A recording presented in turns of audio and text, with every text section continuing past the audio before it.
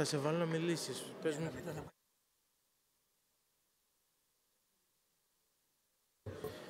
Dear comrades, we need to restart the procedure.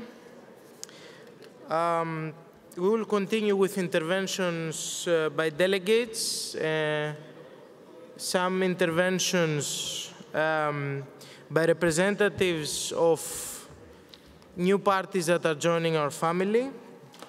Then we will have the presentation of the report on the statutes, the adoption of the statutes, the election of the president of the Statutes Commission.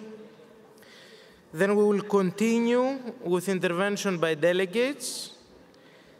And at some point, we're going to have a coffee break and continue according to your agenda.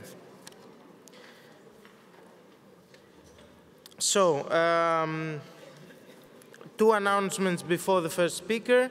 First thing, we would like to remind you to fill in the questionnaire distributed by Transform, because it is very important for the European left to gather as many questions as possible when this Congress has finished, in order to have a more detailed picture, quantitative and qualitative picture for the identity of our party. Second announcement is that the working group on Africa will have coffee at the restaurant tomorrow, Sunday morning, at 11 o'clock. So all those who are interested in the working group on Africa, they are welcome to join.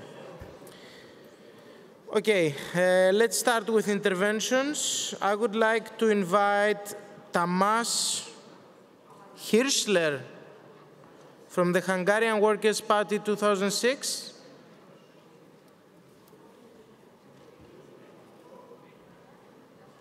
No? Okay. You have eight minutes.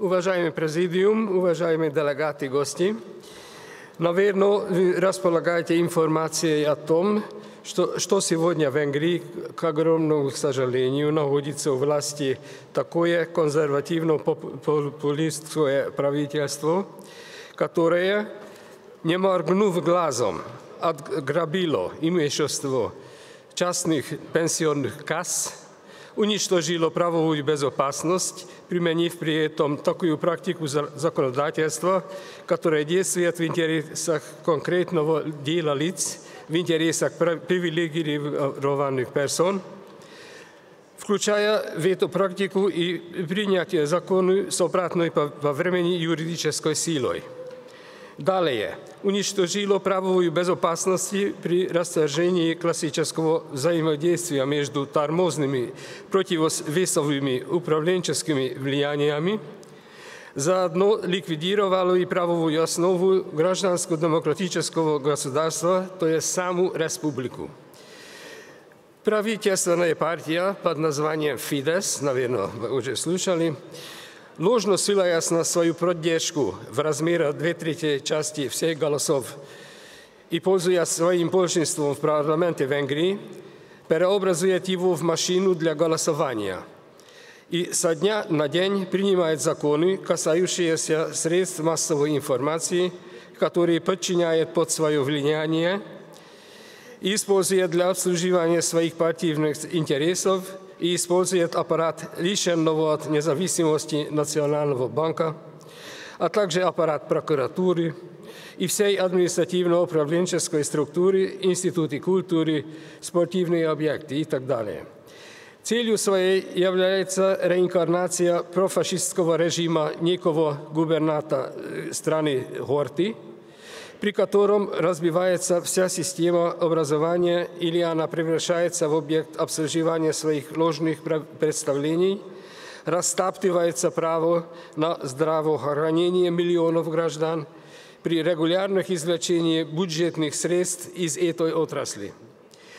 Происходит ограбление нуждающихся, непрерывно служатся правовые основы рабочих, обижают инвалидов и отстраняют их от возможности человеческой жизни. Развели коррупцию до сих пор невиданного уровня, заставляют компетентные органы и людей принимать ложно корректные решения по отдельным конкурсам в интересах своей клиентуры – и при этом ни на минуту не боятся привлечения их к ответственности. Разбазаривают полученные от Европейского Союза миллиарды на престижные капиталовложения. Указанные выше опасные обстоятельства на сегодня вышли из рамки одной страны. Практическое осуществление названной ими иллиберальной экономической политикой вместе с острым противостоянием с Евросоюзом наверняка приведет к появлению ряда последователей. Помимо других, таким могут стать э, правосторонние силы э, в Польше, Франции, в Австрии, и в случае вхождения этих сил власти национального правительства, они могут противо, э, провоцировать самые большие в истории ЕС внутренние столкновения, а по логике способные привести к распаду самого Евросоюза. Нельзя считать преувеличением, когда мы слышим о том, что неолиберальная направленность всемирного капитализма, точнее неопровержимый его кризис, оправдает предпосылок появления в наши дни опасности мировой войны. Изучая реальные общественные соотношения в сегодняшней Венгрии, можно обнаружить довольно интересные и даже новые явления – Правительство вроде бы уже взялось за подготовку осуществления формально правовых демократических организациях и группировках, настроенных против него. С целью реализации данного плана, правда, пока еще э, внешне, Принятие венгерским правительством меры имеет общую тенденцию разработки правовых основ для так называемых нелегального ознакомления с членскими составом таких гражданских организаций. Очевидно, что при помощи данных мероприятий в конечном счете правительство стремится к оказанию отрицательного влияния на организованность объединений и группировок, группировок противостоящих возвращению профашистской модели общества Венгрии через численность их членского состава.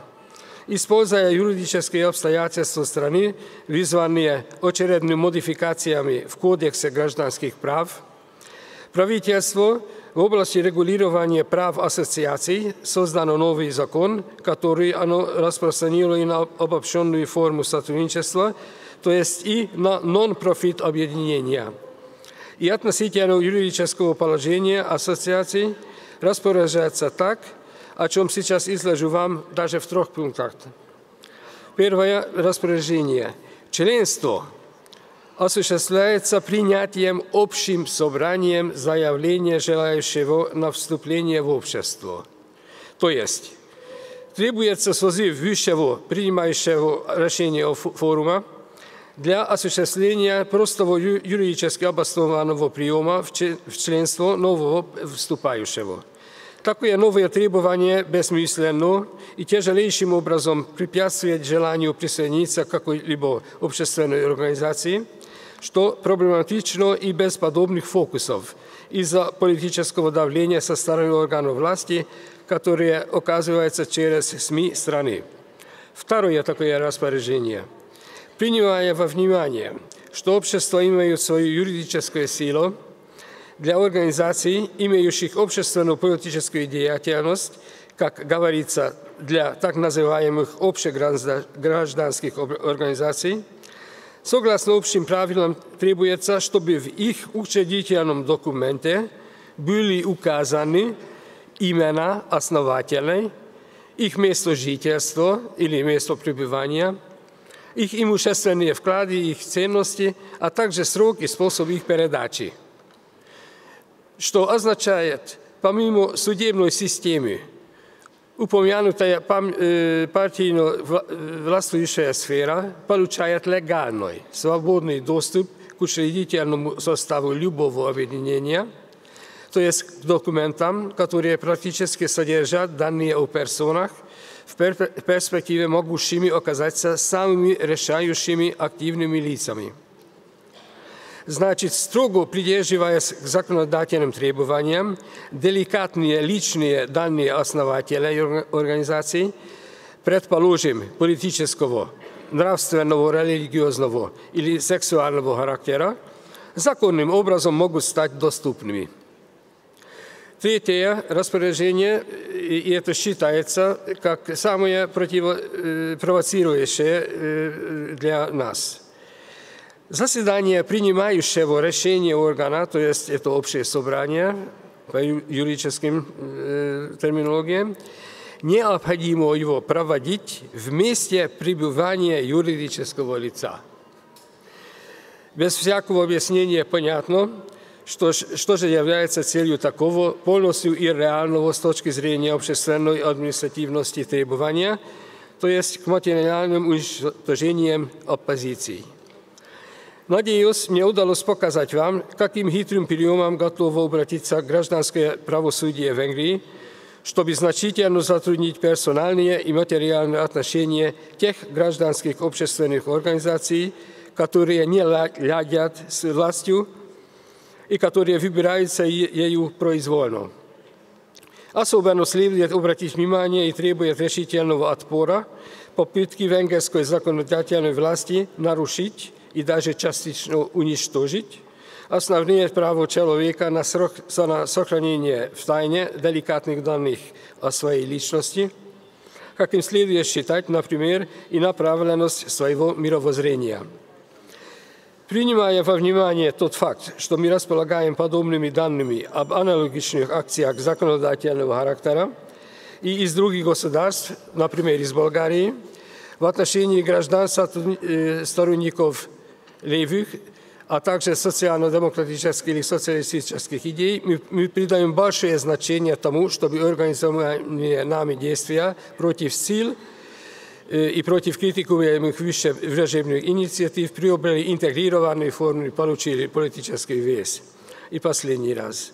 В интересах изложенных целей мы просим проходящий сейчас съезд партии европейских левых включить свой рабочий план, оценку, проработку и осуждение всех антидемократических, вызывающих недоволье инициатив в странах-членах по партиям ИЛ, однозначно служащих интересам властвующих кругов в целях удержания своей власти – и отчет об этой работе вместе с предложениями для представленных мероприятий необходимо внести на рассмотрение соответствующего комитета Европарламента. Спасибо за внимание.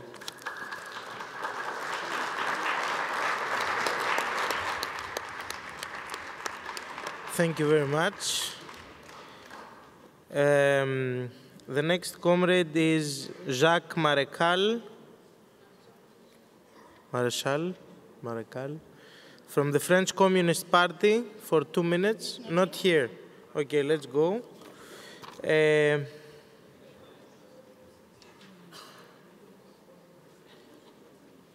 Jaromir Kohlicek from uh, the Communist Party of Bohemia and Moravia for two minutes.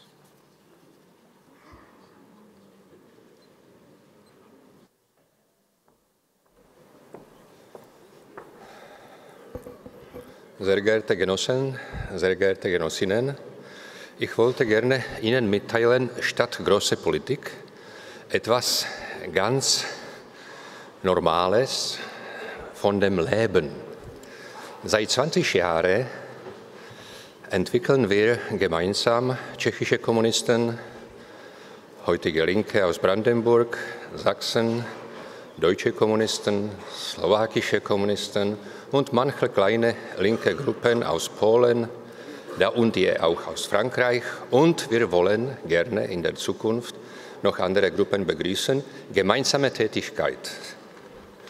Jeden Monat organisieren wir irgendeine gemeinsame Aktivität. Zum Beispiel als die Nazis am 13. Februar jeden Jahr haben sich gesammelt in Dresden, also wir waren da gegen Nazis.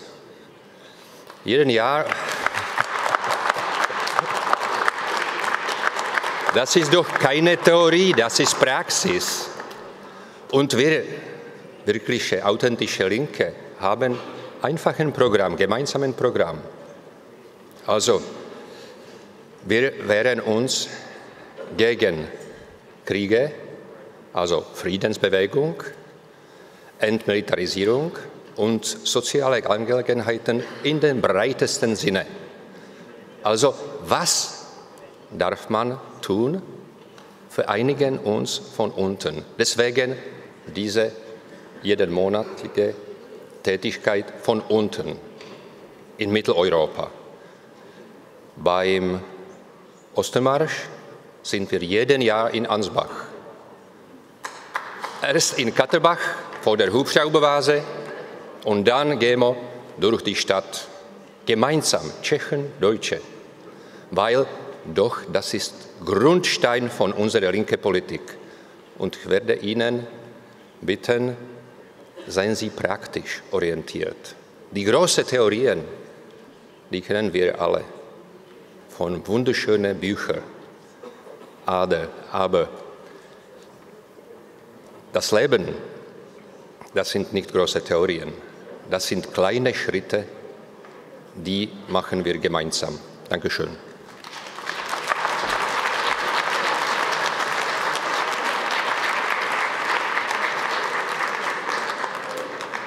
Thank you very much. Um, next comrade is Mikael Hertoft from the Red Green Alliance of Denmark. Okay, Mikael is here for four minutes. And then it's. Uh, okay, we'll see.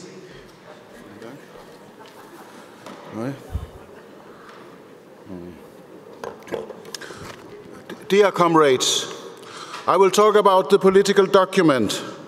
The document you have before you is a document of consensus. It also means it contains some compromises. But first of all, it means that it has been written and rewritten in a long, very long process which started one year ago. It has been very hard work for all of us who participated in it. But especially one person has worked harder than any other in order to seek and find consensus and formulations that everybody and every party could agree upon.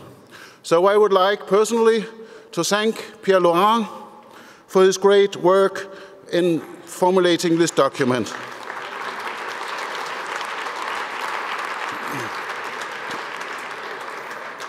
I would also like to thank him for his never failing patience with the armada of changes and proposals which came from the parties around. The document still will probably not win any prizes for ele its elegant style. It has formulations which are not too elegant, but it has the advantage that it is analyzing the period in which we are living and in my opinion, it catches the most important points in the development of the situation, not only in Europe, but also internationally. And uh, first of all, it contains an analysis of the European Union, how this structure has been subordinated, subordinated to neoliberal politics, and how it is imposing liberal austerity all over Europe. It reached the conclusion that we are in opposition to the Lisbon Treaty and want to withdraw from the fiscal compact. It is very important that we reach consensus on this point. The results of the EU politics are clearly described poverty, inequality, poverty, especially for the most oppressed and vulnerable groups, that is, immigrants, women in precarious jobs, young people, people in the periphery of Europe, pensioners. The document even includes an understanding of the offensive of the right wing and the nature of that and the international development of war and violence. It understands clearly the connection between capitalism and the climate crisis. It also has an international outlook on the conflict in Ukraine, the repression about progressive forces in Turkey, and the tragic developments in Syria and Iraq. So it is a very broad document with a broad horizon uh, in its ana analysis. But I don't think this is the most important. The most important is that it goes on to describe uh, the politics we need to have as a left wing. And this is summarized in the keynote policies online. In the latest version, it is on line 650 onwards. Here we are forwarding our hands to all the peoples of Europe because this program, this keynote policies is in a sense a program for the struggle for the peoples of Europe. First of all, it sta states that the people should take control over the economic choices, and that leads to a direct confrontation with the so-called European institution. It calls for a broad front against extreme right and fascism. It calls for solidarity among the working class, fighting poverty and austerity. It calls for a reduction of the working hours. It calls for a rupture of the TTIP, TISA, and CETA. It demands equal rights for all, gender equality. And it wel it's welcoming, helping migrants and refugees. And, fi and finally, two of the most important things it, it, demands a fundamental change of the energy system away from the CO2 uh, based and fossil fuels and towards sustainable energy. And it raises, most of, important of all probably, uh, that we are fighting for peace and for nuclear disarmament. I think this is very important because this is a program which defines our common identity and from which we can reach out to friends, can define what kind of alliances we are in favor of. It is a strong tool to reach out to the European peoples. This is and why is that? That is because this is a program which are defending the interest of the broad majority of the people. We, as a left wing, has a politics which are in favor of the 99 percent. Here it is in precise opposition to the, not only to the neoliberal establishment in the European Union, but also to the right-wing forces. And why is that? It is because the right wing does not have a program for the majority, in spite of all talk about populism. The program of the right wing is to split the majority in order to let the privileged groups continue with their rules. That is populism, a, a, a, politics which are not in favor of the people but are talking to the lower instincts. We are another thing. We are a party from the people, for the people, and by the people. We live in difficult times. The left understands, and, but another world is possible. The left understands the situation, and the left has an alternative. That is what this document shows. European left reaches out to other left-wing forces in Europe and we invite to cooperation. With this document we have a good tool to do it. This is our task the next years. With the political document we have reached a consensus about how to do it. Now let's go to work.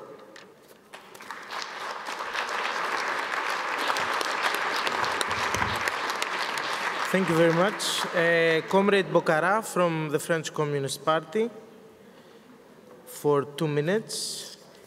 And then Comrade Martina Michels from Die Linke.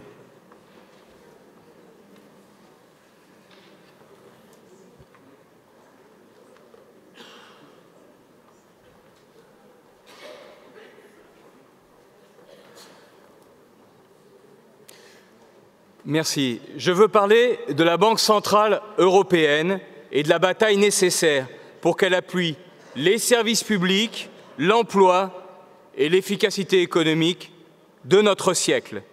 C'est le vrai plan B. La situation européenne est grave et quatre défis sont face à nous. Premier défi, la politique de la Banque centrale européenne est un grave échec. Des milliards sont déversés et l'emploi va de plus en plus mal, les services publics aussi vont mal. Mais la spéculation s'envole, on est au bord d'une crise financière, la récession n'est pas loin. Deuxième défi, Trump, Donald Trump. Sa guerre économique nouvelle contre l'Europe et contre la Chine, et aussi le bras de fer sur les capitaux qui peut mettre à plat ventre les économies des pays d'Europe avec la remontée des taux d'intérêt pour les rendements des capitaux financiers. Troisième défi, l'austérité. Il faut développer l'emploi et les services publics, développer les pays. Il faut financer des investissements massifs, mais aussi des emplois publics, par exemple dans les hôpitaux. Ce ne sont pas des investissements, mais bien des emplois qu'il faut financer, et tout cela relancerait la demande européenne. Quatrièmement, un défi politique d'alternance, d'alternative non nationaliste. La BCE et les banques sont les tanks modernes qui attaquent la démocratie et les peuples. Nous l'avons vu en Grèce, nous le voyons partout. Et la BCE agit aujourd'hui au service des marchés financiers, mais avec notre argent. C'est une question politique majeure de souveraineté populaire sur l'argent. Il faut sortir par le haut et en solidarité de cela, partager nos forces économiques. C'est une bataille de classe moderne, Paolo l'a dit tout à l'heure, de classe moderne face à la finance, voilà le véritable plan B, à l'opposé des national-populismes et des fascismes. Nous proposons de créer un fonds européen d'un type nouveau. Son but, les services publics, son argent, l'argent créé, les euros créés par la BCE, son fonctionnement, la démocratie. Et deuxièmement, la BCE doit changer sa façon de prêter aux banques. Enfin, cette bataille a besoin de construction, d'élaboration, d'initiative. Notre slogan pourrait être L'argent des Européens créé par la BCE doit aller à l'emploi, aux services publics et aussi aux standards sociaux et à l'écologie, que ce soit dans la zone euro ou avec les pays hors zone euro. On a besoin d'échanges pour cela, de coordination des initiatives nationales pour s'engager sur ce type de campagne. Je propose de créer un groupe de travail sur cette question. Je vous remercie.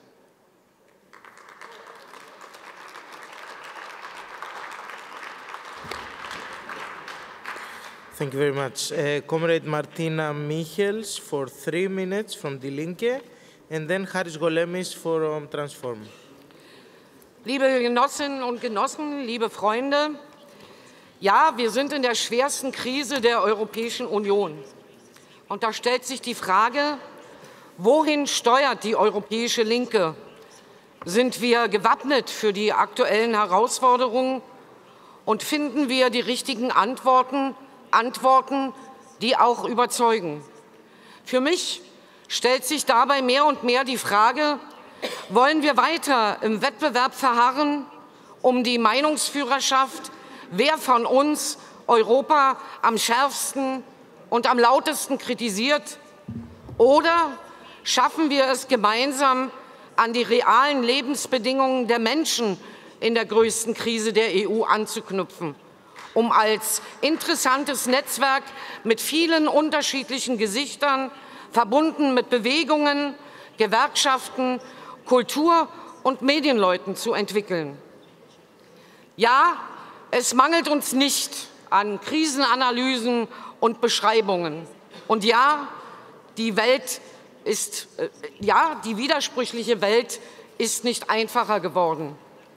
Aber zugleich ist die Linke als Stimme eines ernsthaften Prozesses in meinen Augen viel zu leise geworden. Sie bietet zu wenig Bündnis Bündnisfähigkeit an.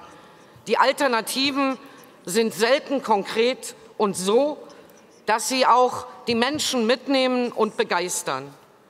Unsere Aufgabe muss es doch sein, den vielen interessanten Einzelbewegungen für eine gerechtere Welt einen demokratischen Austausch anzubieten, einen Rahmen, um auch dauerhafte politische äh, Projekte daraus zu entwickeln.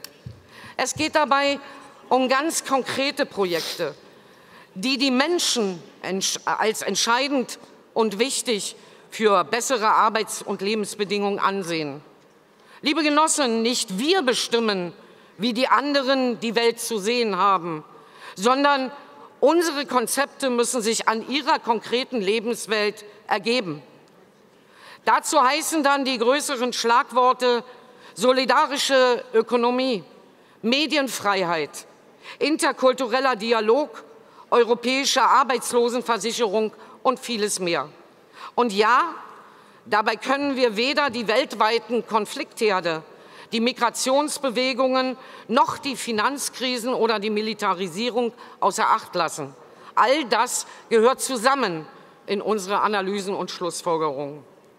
Die soziale Frage ist längst nicht mehr von Demokratie und Mitsprache zu trennen. Doch genau dieses Denken vermisse ich oft in unseren eigenen Reihen. Aufgeschlossenheit für neue Fragen und Themen, die wir zu oft vereinfacht als neoliberales Teufelszeug darstellen. Aber genau diese Fragen verändern doch den Alltag von Millionen Menschen. Ein Beispiel dafür ist die fortschreitende Digitalisierung in unserer Gesellschaft. Das ist übrigens ein Gebiet, ein Aufgabengebiet, dem ich mich auch im Europäischen Parlament widme.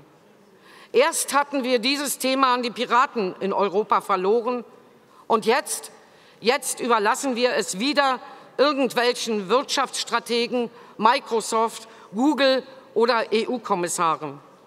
Dabei geht es aber hier genau darum, wem in Zukunft das Wissen gehört, wer den kulturellen Austausch mitbestimmt, darum, wie wir lernen, kommunizieren und letztlich auch, was wir über unsere Welt wahrnehmen.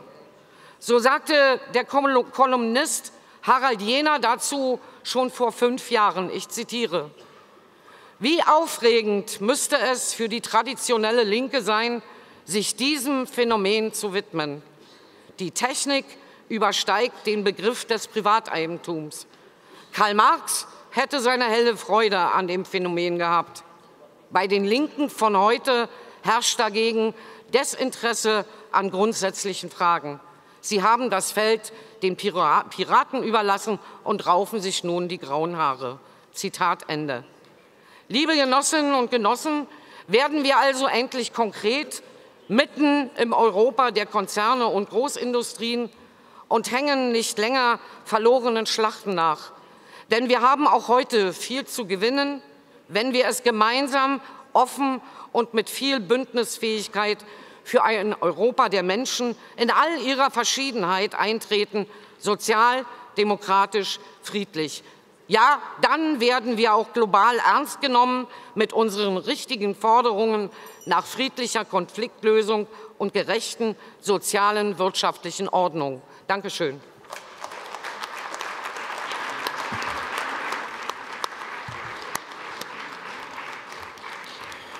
Thank you very much. Uh, Comrade Haris Golemis from Transform for four minutes.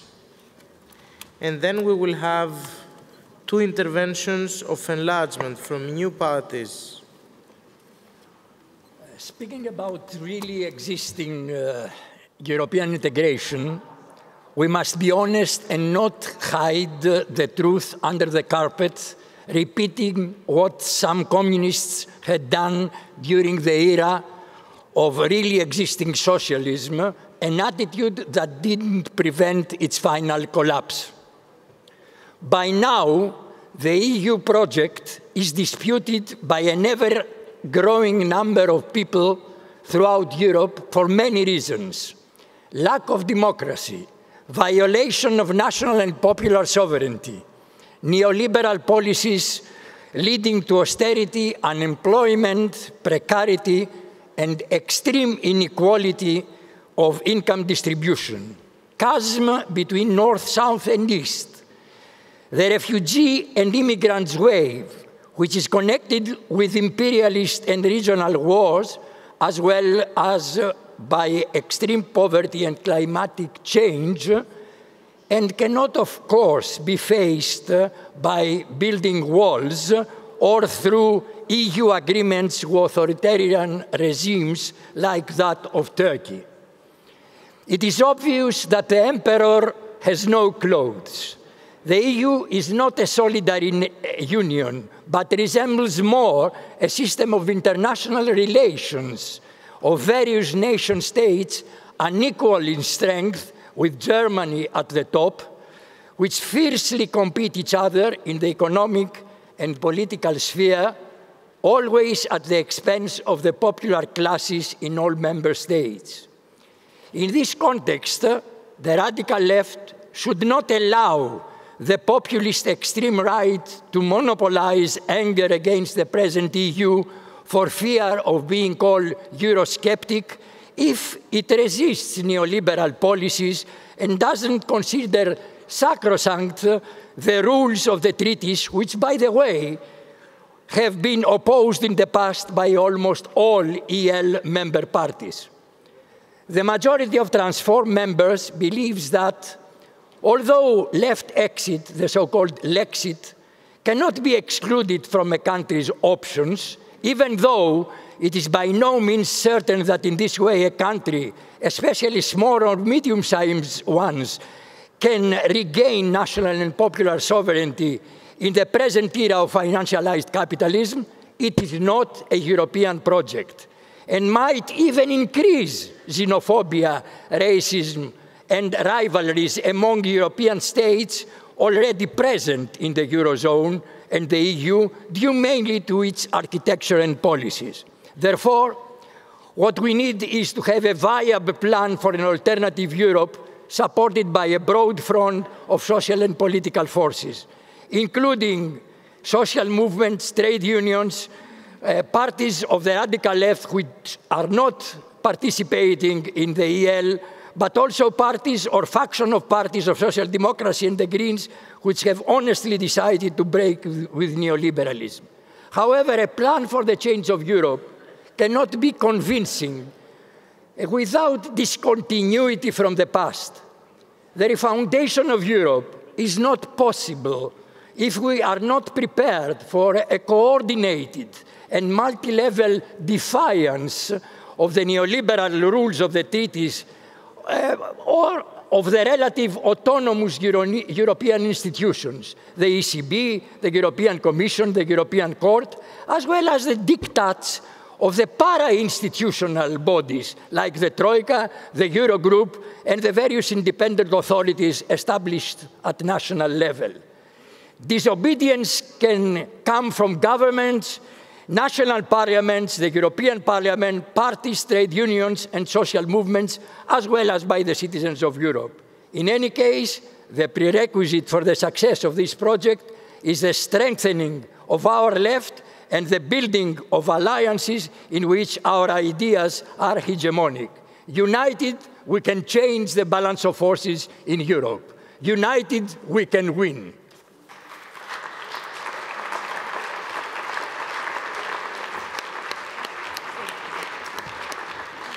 Thank you, Haris. Uh, is Comrade Marekal here? No. Okay. So let's have a first intervention from new joining force, Comrade Massimo Torelli from Altra Europa con Tsipras from Italy for five minutes.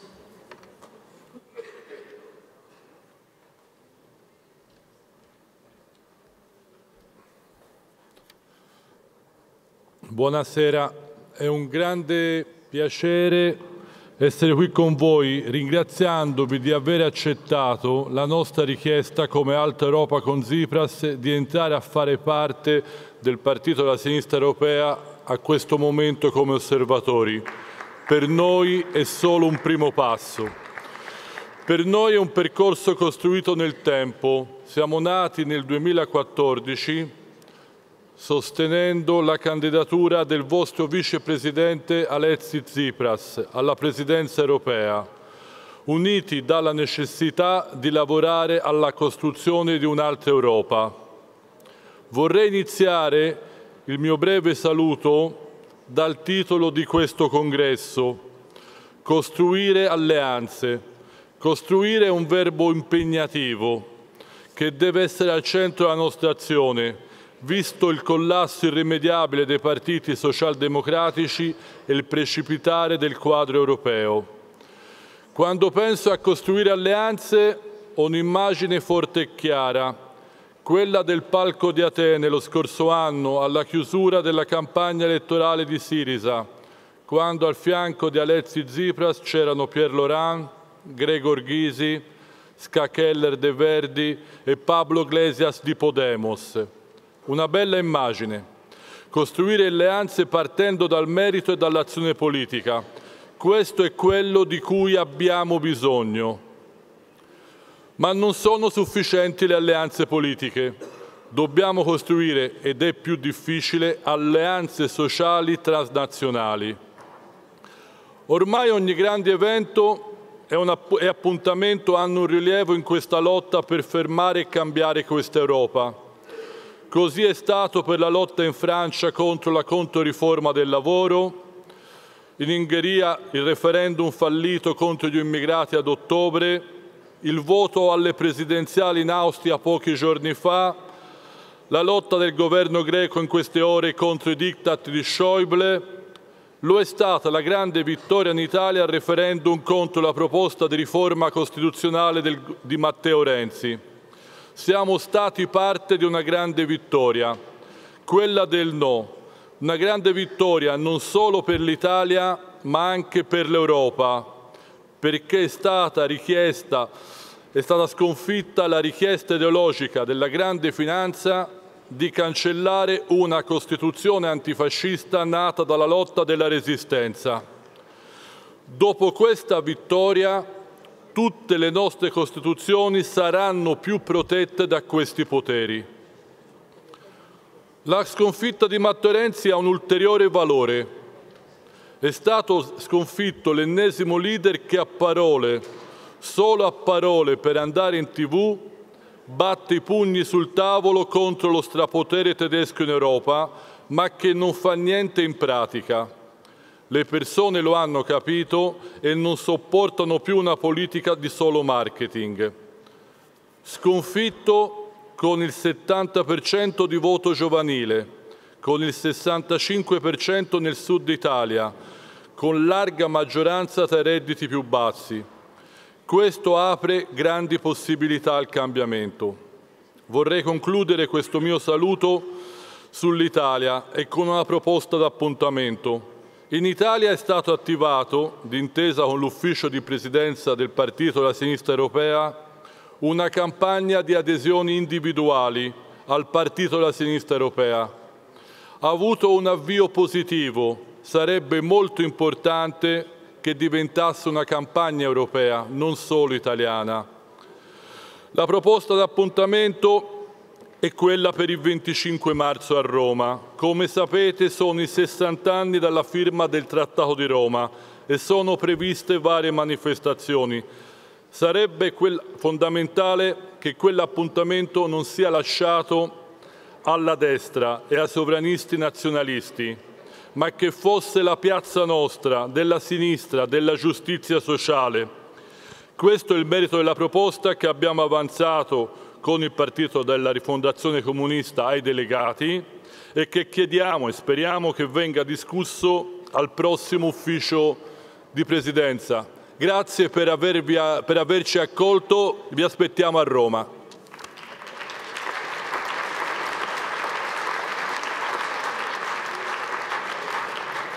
Ja, vielen Dank, Massimo. Ähm, der nächste Redner äh, einer äh, neu zu uns gestoßenen Organisation wäre Len Arthur von Left Unity. Len ist hier. Ähm, Len Arthur von Left Unity.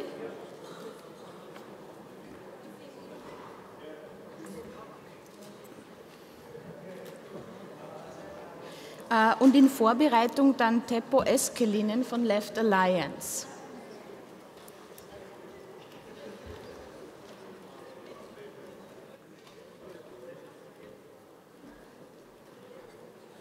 Whew, not much warning.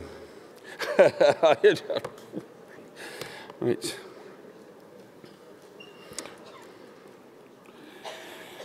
Okay. Uh, yes. Um, good afternoon, comrades. Um, Left Unity is a, a very young party. Um, we started in 2012 um, from a small group that was concerned about austerity, but also the need to link austerity to a socialist alternative. Um, at the time, Labour was not providing a clear alternative, uh, a socialist alternative. Um, that uh, to the left of the Labour Party, um, the, the parties were declining and, um, and were disappearing into abstract uh, discussion about the importance of the separation of, uh, of reform and revolution, but not seeing how the two actually work together. Um, clearly, the crisis that we faced following the financial crisis was an international one. And, uh, and a group of people called um, in, uh, in, in the UK called for, um, uh, uh, uh, called for support for the November the 14th Day of Action, uh, which uh, was called by, I think, the ETUC. Um, there was a small mobilisation for that. And so the actual original name of Left Unity uh, was uh, the November the 14th movement as a consequence. Um, it's very important to emphasise that Left Unity as a party uh, is not an alliance of existing parties. Um, it is actually uh, being built from scratch uh, with individual individuals from a whole range of left traditions in the, U in the UK. Um, well, Okay, I'm, uh, I'm, uh, I'm from the Trotskyist tradition, and I work very closely with uh, comrades from the Euro-communist tradition, and so on. It, they're the Greens, and etc. And, and, and anyway, you would think, my goodness, can you imagine 2,000 people like this in the same room? It will never work. However, it did work. Um, and uh, Ken Loach really gave us a boost. Ken Loach, the film director, um, joined and spoke in favour of uh, constructing a party like Left Unity and uh, clearly had a big influence on us being able to set up branches. Ken Loach, of course, is still a member of Left Unity. Um, and, uh, and then we entered into a period of an 18-month whirlwind of, uh, of establishing a conference which uh, agreed to socialist principles, the principles in which we would organise. Then we developed a constitution, and uh, then we had another conference, all within 18 months, to develop a manifesto. And here it is. Um, and uh, this manifesto, and, and, and to be honest, it's nothing short of a miracle that this document was arrived at. I, mean, I know the hard work that's gone into the political strategy document um, of the European left that's before us, but my goodness, it wasn't any anything like the hard work that went in to getting an agreement on this document. Anyway, here it is, needs a bit of a review now, and I have to say it anticipates a lot of the policies, uh, which, or some of the policies, which Corbyn supports. Um, now, um, uh, we, we, we, we've tried to break with the socialist tradition as well. We have an open constitution. Um, we've tried to break with the secrecy of the left, you know, don't tell them over there, you know, and keep this quiet and, uh, you know, and have a meeting there. Eh, all our minutes are published. Um, all our reports and all our discussions are published. Um, it's all available on the internet. It is a complete break uh, from that secrecy of uh, socialist tradition. You can't persuade young people these days that things need to be kept quiet, for goodness sake, in an era of, of when people tell everybody else about what they're doing in their personal life, or well, personal, social life all the time. Um, you, can't expect, um, you can't expect to keep things secret in the past, and you shouldn't anyway, because I think some of us would argue that socialism is about democracy, it's about openness and accountability, and we should demonstrate that now in practice, not just wait for a social change. Um, from, the, uh, from the first aim, from the first conference, uh, and, and in this manifesto, the aim was to join the European left. Um, now, we must say that clearly with the election of Corbyn as the Labour leader, that's hit our membership, no question about that. Um, we've decided not to stand in elections currently while Corbyn is leader of the Labour Party, but we must make it clear that the Labour Party remains divided. Um, we decided not to dissolve. Um, we decided that we can't wait for four years for another general election. That in fact we have to fight now and organise that fight now. So we decided to remain independent and it enables us to act fast and um, to act within our socialist, uh, uh, our socialist principles and, uh, uh and oppose, like, you know, the, the bombing of, uh, of, Syria and so on. We can act fast and mobilise around things like this. Our current challenges are clearly this. Um, in the referendum, we argued to remain. Um, now we have to deal with the consequence of the Brexit out, uh, the, of the referendum outcome. Um, We argue for the democratic control of that process. We defend the freedom of movement as a human right. We defend workplace rights. We defend human rights. And we defend environmental protections. Um, and we clearly have a very difficult fight to fight against the racist and homophobic attacks which have, which have, uh, which have, which have gone out of all, how can I say, they've not bloomed. They've, um, uh, they've, uh, they've uh, well, they've just taken off. That basically, um, the, the outcome of the referendum has legitimated um, uh, attacks, racist attacks in the UK. Um, damn, I knew this thing would, wouldn't work. Right, and, and so our, uh, and then our, obviously our other main challenge is, uh, is to fight austerity, privatisation and workplace exploitation. Our key principle is that workers must not pay for the financial crisis anywhere, not just in the UK, uh, but across Europe, across the world. Workers should not pay for the financial crisis. People seem to have forgotten that slogan. And our strength is linking these fights with the socialist alternative. Membership of the European left is central to our political purpose and strength. We hope that we will finally be accepted. I think uh, the decision has yet to be made. We have experienced this year um, that uh, the European left can take things to the wire. We hope that our membership doesn't get taken to the wire and that it goes through um, uh, quite nicely. All, all, this year we've been welcomed in meetings of uh, the European left. Um, and we must say that Left Unity will be the only socialist party in the UK which has such an organised and public link with other socialist parties. And that is one of our key strengths of Left Unity. The link with the European left is our key strength. The political strategy document will become our international manifesto. We will make it into our manifesto. And here are some examples of our agitational material. Um, these are, if you like, can be used as, uh, leaf, as, uh, as, as posters, but they're also bulletins.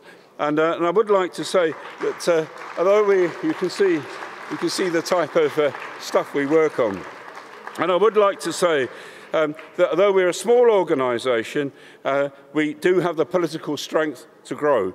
And other than, I, I was going to quote Gramsci, but I think I'll quote Muhammad Ali. And just to say that we can fly like a butterfly and sting like a bee.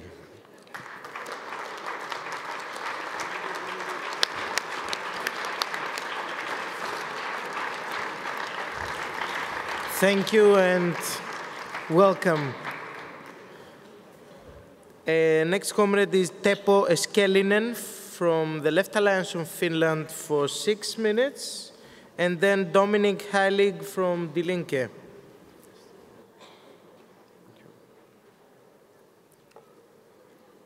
Yes, comrades, we have for decades heard from the political right that the economy is being liberalized. Sometimes they even call it the open society. Yet these same decades have taught the world what the reality of liberalization is, especially when this ostensibly liberal society is observed beyond pure rhetoric. Namely, the more the economy is liberalized, the more secretive it becomes. The more it is liberalized, the more explicitly it reveals its nature as a system characterized by a complete lack of transparency, as a system in which access to vital information is reserved to narrow elites. As this process unfolds, it's ever more important for the left to struggle not only for its obvious goals, such as economic equality, but also for the transparency of the system. We see this, for example, in the political action to close tax havens. Increased transparency would practically mean the end of the story of these highly exploitative structures. Similarly, in the case of TTIP, Transparency is in the core of political struggle. As the regime of the so-called free trade unfolds, it becomes extremely difficult, even for parliamentarians, to access basic information on key economic processes. What multinational corporations and high banking strive for is exclusive club decision making without um, tra any transparency to the democratic society. One can only wonder what would the trade regime, for example, look like if it would be born out of an open democratic process. It's indeed no surprise that in this era, values of openness, as they are fostered in the academia, the civil society, and the press, are under pressure. In Finland, for instance, we have right-wing government drawing its practices very directly from the world of business, and for the first time since, I don't know who remembers when, the freedom of the press has become an issue of concern, an issue of debate in the country. In this situation, political action, the left political action, necessarily also takes the form of struggle for transparency. But here, comrades, we have to be very clear and self-aware so that we foster these values in our own action and not allow any secretive structures in our own organization, be it for reasons of tradition, convenience, or whatever. This requires acknowledging that left party structures are not always and automatically constructed in a progressive manner. We need to remember what the best part of the early socialists understood very well. That is that left parties are not only practical vehicles or tools for achieving political goals. The party should also be a model of its own values. It should reflect its politics in its institutions, and even further, it should aim at creating itself as a micro image of the future society it struggles for. For this reason, comrades, it's not enough that we have a political program. We also need to ask how can the party structure embody the political values of the party as fully as possible? As the party evolves to be prepared for the challenges of the future, we need to ask how to make the party more transparent and how to avoid any unnecessary concentrations of power. How can the party be more inclusive? How it can be more inviting? Because when such values are part and parcel of the functioning of the party, the party becomes more credible and therefore also more effective in achieving its political goals. I would further like to emphasize that cooperation with social movements should be deep and committed. In this conference, we've heard initiatives to create new platforms and coalitions, which is excellent. But this should not only mean cooperation with these movements on the basis of shared political goals, shared political agenda, it should also mean a challenge for us to learn from these spontaneous and open movements, learn how they organize, how they disseminate information within the movement, and how they make decisions on a non-hierarchical manner, and aim at improving the structures of the party on that basis. Thank you.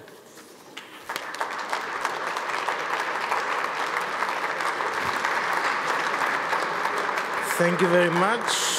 Dominik Heilig from Die Linke for three minutes, and then Dagmar Svendova from Transform. Vielen Dank, Janis. Ähm, ich dachte eigentlich, dass ich nach dir rede und habe darauf gewartet, damit ich auf dich reagieren kann, aber nun lege ich vor und du kannst nachziehen. Liebe Genossinnen und Genossen, mein erster Dank heute gilt nicht nur den wunderbaren Organisatorinnen und Organisatoren dieses wundervollen Kongresses, sondern auch meiner Delegation, die mir hier Redezeit zur Verfügung gestellt hat. Und die möchte ich nutzen, um zu Beginn Alexis Tsipras für seine Rede hier heute zu danken. Und er hat vor kurzem einmal gesagt, wir, die europäische Linke, sind, nicht die Linke, sind die Linke, die durchs Feuer geht und nicht die, die die Flucht in den Nationalismus sucht. Liebe Genossinnen und Genossen, nicht nur die Europäische Union zerfällt, fällt in sich zusammen, durch Nationalismen und Populisten, durch Rechtsradikale, Chauvinismus und Rassismus. Ein gesamter Kontinent ist gerade dabei zu zerbrechen. Europa hat seine Menschlichkeit verloren, vor allen Dingen dann, wenn an der Außengrenze dieses Kontinents Zehntausende Menschen sterben bei der Flucht vor Krieg, Hunger Tod und Gewalt. Europa, in Europa erstarken Nationalisten, Rassisten, sie versuchen uns, unsere Gesellschaften aufzuspalten. Die Rechte marschiert und viel zu viele auf diesem Kontinent schweigen dazu. Die Linke schweigt dazu nicht. Die Linke darf dazu nicht schweigen und die Linke muss sich dem entschlossen und mit Haltung entgegenstellen, liebe Genossinnen und Genossen. Und daraus folgt für mich, dass wir aus diesen Krisen, die wir in den letzten Jahren erleben mussten und die wir in Zukunft wohl auch erleben werden müssen, durch den Neoliberalismus, durch Krieg, Verelendung, Umweltzerstörung, dass wir durch diese Krisen nur gemeinsam durchkommen, wenn wir zusammenstehen über Grenzen und über Nationen hinweg. Und deshalb bin ich davon überzeugt, liebe Genossinnen und Genossen, dass uns dabei nicht weniger, sondern nur mehr Europa hilft, nur mehr Europa, nur mehr Internationalismus und mehr Solidarität hilft uns im Kampf gegen rechts. Und dabei ist es aber auch leider so, dass innerhalb der Linken in Europa zunehmend öfter über die Frage debattiert und gestritten wird, ob wir nun nicht aus der Europäischen Union ausscheiden sollten, ob einzelne Staaten ausscheiden sollten. Ich glaube, dass diese ganzen Konzepte oder diese ganzen Konzepte überzeugen mich persönlich nicht. Und ich glaube auch, dass diese Debatten uns Zeit rauben, Zeit, um mit den Menschen über ihre Probleme, die real sind und die vor Ort stattfinden, zu sprechen und diese zu lösen. Wir haben es teilweise verpasst, wieder in der Sprache der Menschen zu sprechen, sich ihren Nöten und Problemen anzunehmen. Diese bestehen zum Beispiel darin, sich gegen Gentrifizierung und Vertreibung zu wehren, gegen Studiengebühren zu wehren, für eine freie Bildung zu engagieren, für gerechte ähm, Steuern zu engagieren, für die Möglichkeit, ähm, die Kosten der Unterkunft zu tragen, wie für Energie und für Wasser. Das sind die Themen der Menschen und damit sind es unsere Zukunftsthemen als Linke in Europa. Und diese sollten wir auch in Zukunft gemeinsam angehen. Dazu ist aber auch nötig, dass wir bereit sind, Verantwortung zu übernehmen. Dort, wo wir gewählt werden, dort, wo man uns braucht, dort, wo man uns ruft. Und deshalb bin ich den Genossinnen und Genossen in Athen, von Syriza, ich bin aber auch den Genossen vom Bloco de Esquerda in Portugal sehr, sehr dankbar, dass sie diese Verantwortung übernommen haben und versuchen, ein Stück weit das Leben der Menschen zu verbessern und Stück für Stück den Weg ins Paradies zu organisieren. Aber, liebe Genossinnen und Genossen, das alles wird nicht sein, wenn es uns hier in Deutschland nicht gelingt, im kommenden Jahr Angela Merkel aus dem Kanzleramt zu treiben. Mit einer Linken, die in Deutschland bereit ist, Verantwortung zu übernehmen, denn nur mit einer anderen Politik, auch hier in Deutschland, hier in Berlin, wird es möglich sein, einen Politikwechsel nach links in Europa zu organisieren. Und ich hoffe, liebe Genossinnen und Genossen, dass ihr nächstes Jahr, wenn wir im Wahlkampf gegen Angela Merkel, gegen Austerität und gegen Wolfgang Schäuble stehen, dass ihr alle wieder hier seid und uns alle dabei kräftig unterstützt. Wir haben es nötig, wir freuen uns auf euch. Herzlichen Dank dafür.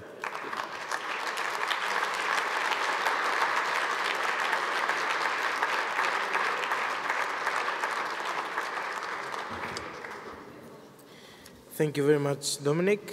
Um, Comrade Dagmar Svendova from Transform for three minutes, and then Fabio Amato from uh, Rifondazione Comunista. Dear comrades, allow me to share with you some thoughts of Transform on the Central and Eastern European region. We have to acknowledge there is a relatively huge gap between Western Europe and the CEE as well as relatively large internal diver diversity. We believe that new focus on those parts of the Europe which has falsely been at the margin of the interest is very important for the future. Moreover, if we take into account the fragmentation and the weakening of the left in the West, in the CEE, we are talking about its practical disappearance with no backup structures. All these countries went through so-called transformation, and all of them have remained at the European semi-periphery, with minimal chances of moving closer to EU averages within a reasonable time frame. The history of the CEE region is replete with attempts to find a political agreements. Currently, there is not the left party in the CEE elected to the national parliament. a part of the Communist Party of Moravia and Bohemia, uh, Bohemia and Moravia in Czech Republic, and a united left in Slovenia, which could counterbalance these negative tendencies. Although there is still the lack of the party infrastructures, we should not overlook the example of a new wing scene developing in the Balkans. We must keep in, uh, we must keep in mind that currently the countries of the CEE regions comprise 21% of the EU population and account for about 27% of the seats in the European Parliament. Brexit will further increase uh, the CEE countries' importance. The region's increasing uh, geostrategic role should not be overlooked either. In today's world, practically all countries of the CEE are located on the front line of growing political and, in some cases, military tensions, while, while also being members of NATO. It is therefore crucial that both the left parties and the movements enhance their efforts in this region. We believe that by strengthening the international dialogue within the CEE and across the Europe, it should be possible to create good conditions for fostering closer cooperation among the left forces in Europe. And through this, facilitate a process leading to formulating a common strategies, such as how to fight right-wing populism, precarious labor conditions, etc. Such development, if successful, should have a significant and positive effect and impact on our upcoming campaign for the European Parliament election in the year 2019. This all can sound a bit as science fiction, but let me remind you, we have seen in not so distant past several examples of creating cross-European and cross-regional solidarity and actions, both organized and spontaneous. The strategy of the left should not be the same in all the regions of Europe. For example, in Central and Eastern European the Central and Eastern European experience is completely distinct. Therefore, while we are trying to retain our unity in our strategy at the European level, we should be very specific in our strategy at the regional level. Moreover, because the opponent does the same. Thank you.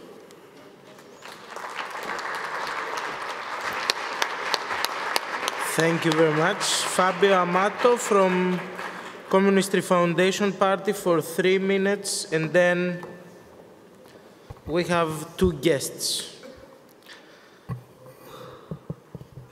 Queridos compañeros, queridas compañeras, es difícil en tres minutos hablar de una experiencia de más de 14 años en el cual de mi vida dedicada por buena parte en la construcción del Partido de la Izquierda Europea, desde el 2002 en las primeras reuniones con los compañeros del Sinaspismos, de los Papas, de Izquierda Unida, Pedro Marcé, de la PDS, ahora de Link.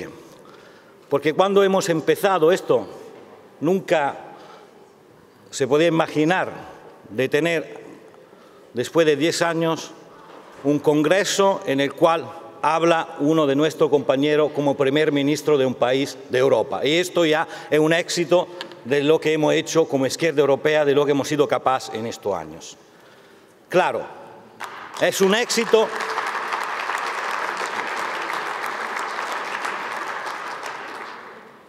Y también esto no significa que el camino ha terminado, que la izquierda europea no tenga sus problemas, que no tenemos más desafíos enfrente eh, a nosotros. Yo pienso que somos en un momento dramático de la historia mundial y de Europa. La crisis europea es vertical, es una crisis democrática, civil, social. Y la salida puede ser o la reaccionaria o la progresista de cambio. Pero para ser creíble como izquierda, es creíble como propuesta de cambio por los pueblos de Europa, tenemos que decir claramente, claramente algunas cosas claras.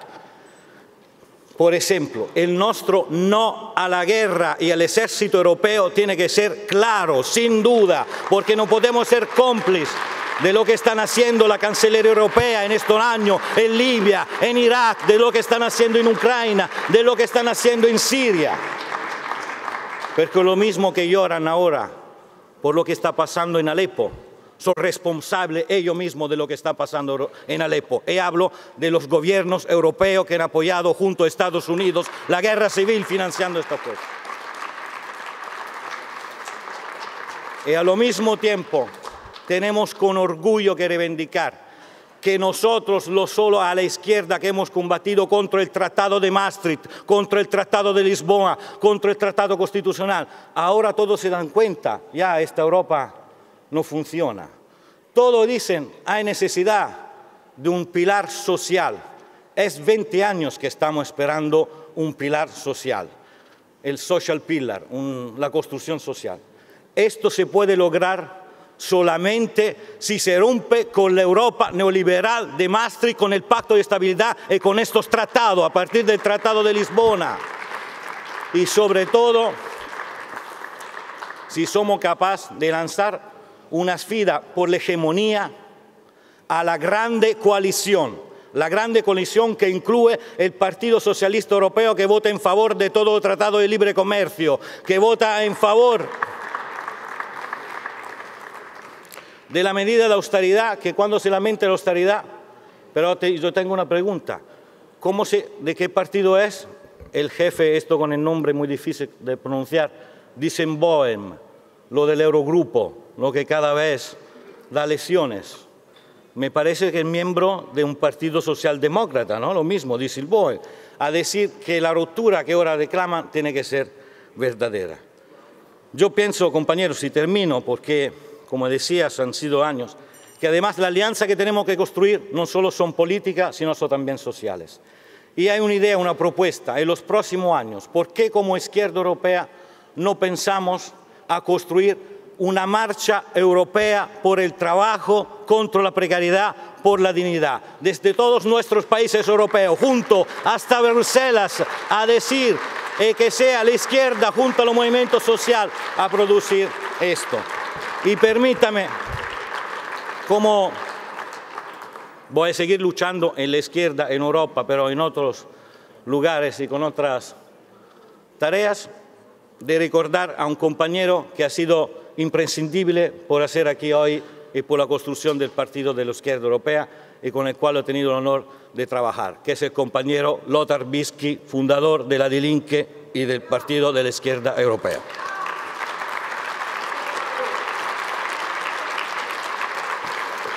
Y lo último, agradecerlo a todo porque ha sido un honor terminar mi experiencia en la ejecutiva, en el secretariado de la izquierda europea, participando al homenaje al compañero Fidel Castro en La Habana en nombre de todas y todos nosotros. Hasta la victoria, siempre venceremos.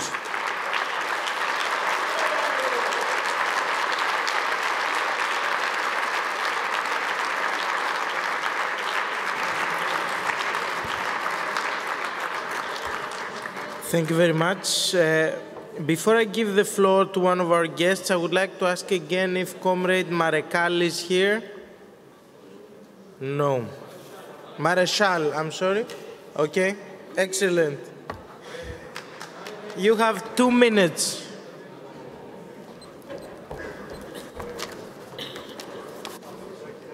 Liebe Genosse, chers camarades, Mon intervention portera sur la question importante de la lutte contre les idées d'extrême droite, et en particulier dans le monde du travail.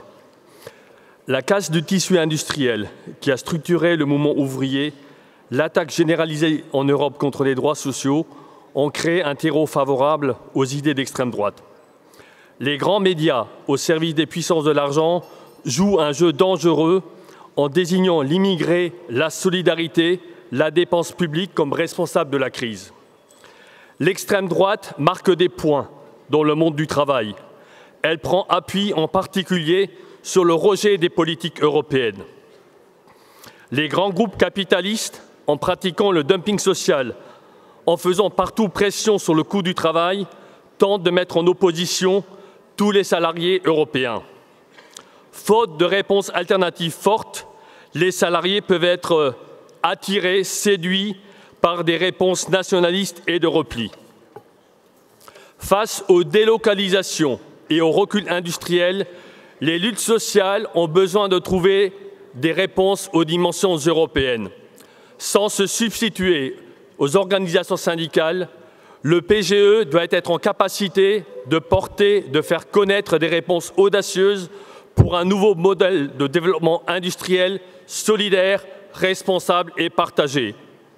Nous avons besoin d'un grand projet industriel européen et en même temps besoin d'apporter des réponses concrètes aux salariés confrontés aux plans sociaux. Nous ferons reculer l'extrême droite dans nos pays respectifs quand nous serons en capacité de porter des réponses européennes et progressistes aux salariés confrontés aux attaques patronales et en particulier dans l'industrie.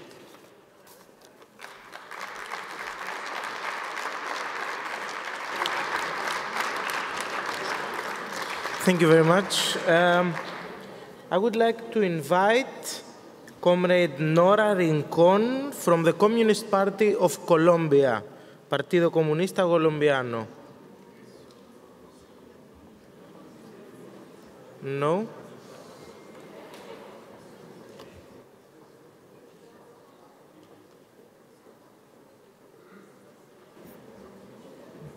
You have five minutes. Buenas tardes, compañeros y compañeras. Saludamos el quinto Congreso del Partido de la Izquierda Europea, no sin antes daros nuestros agradecimientos por permitirnos participar en este espacio en el que muchas fuerzas políticas de la izquierda en Europa luchan por el cambio hacia una sociedad más justa y democrática, en donde buscamos soluciones a muchos de los grandes problemas que enfrenta la humanidad, que son el resultado del capitalismo y la globalización neoliberal. El tránsito hacia una paz duradera en Colombia, tras la firma y ratificación del acuerdo de paz, es una noticia muy alentadora en momentos donde las fuerzas reaccionarias han roto sus propias reglas del juego en el ejercicio de la precaria democracia en Latinoamérica. Los avances del proceso de paz en Colombia, además de ser una conquista del pueblo colombiano, es una conquista a la paz de la región que resta argumentos a las derechas golpistas que no soportan los avances de las fuerzas populares de alternativa de cambio. No obstante, el regocijo por los avances en el proceso de paz, vemos con preocupación el auge de la acción paramilitar y la ola de asesinatos, amenazas y persecuciones contra la oposición social y política, los, los, defensores de los derechos humanos y los luchadores por la paz. En este quinto Congreso queremos deciros que en estos momentos necesitamos más que nunca el acompañamiento de la comunidad internacional.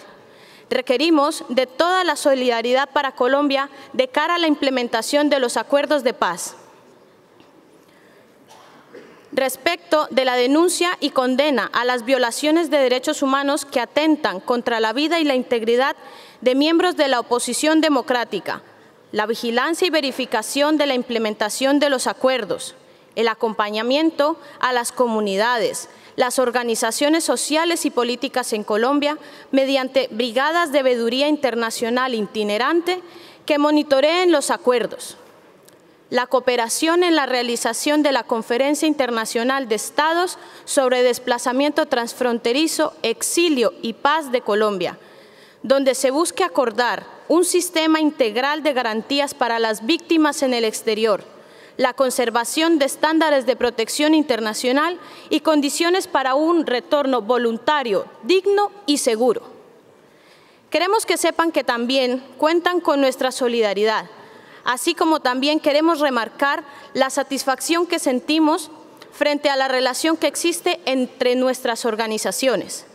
Relación que no solo se materializa de, cara a la participación en este tipo de eventos, sino que también en la muestra clara del internacionalismo que ha sido determinante en el actual proceso de paz en Colombia.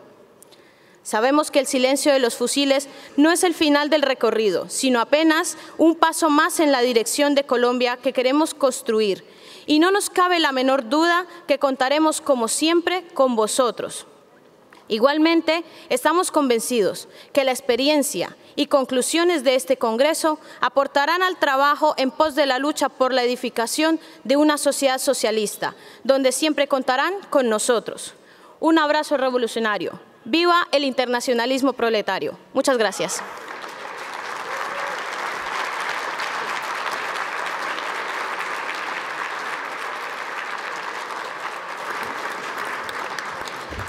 Muchas gracias, compañera. Uh, now I would like to invite comrade uh, and economist Rodrigo Cabezas.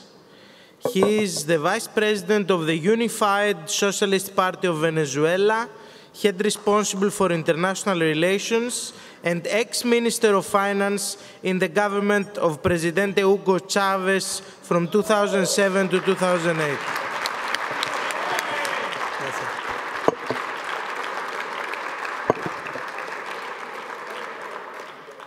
Muy bien.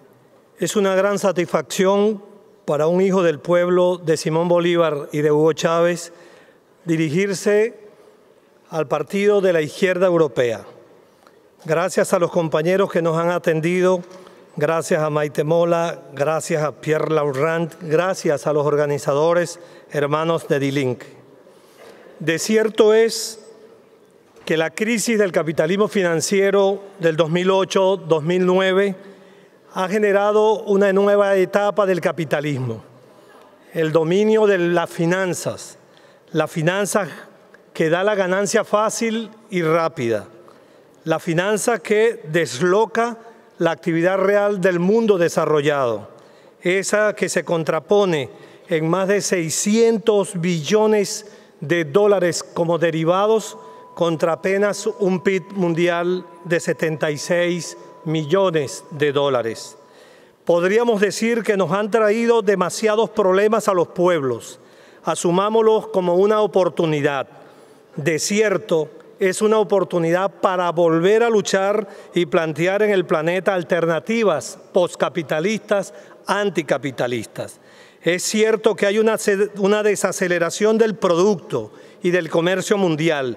También es cierto que dentro de esta crisis Europa y la zona euro es la que más ha sido golpeada, la que menos crece en su producto, es decir, la que menos genera riqueza en el sector industrial, agrícola, productivo, la que menos exporta ahora con tasas de recuperación de las exportaciones por debajo del 2008, con estados y bancos profundamente endeudados.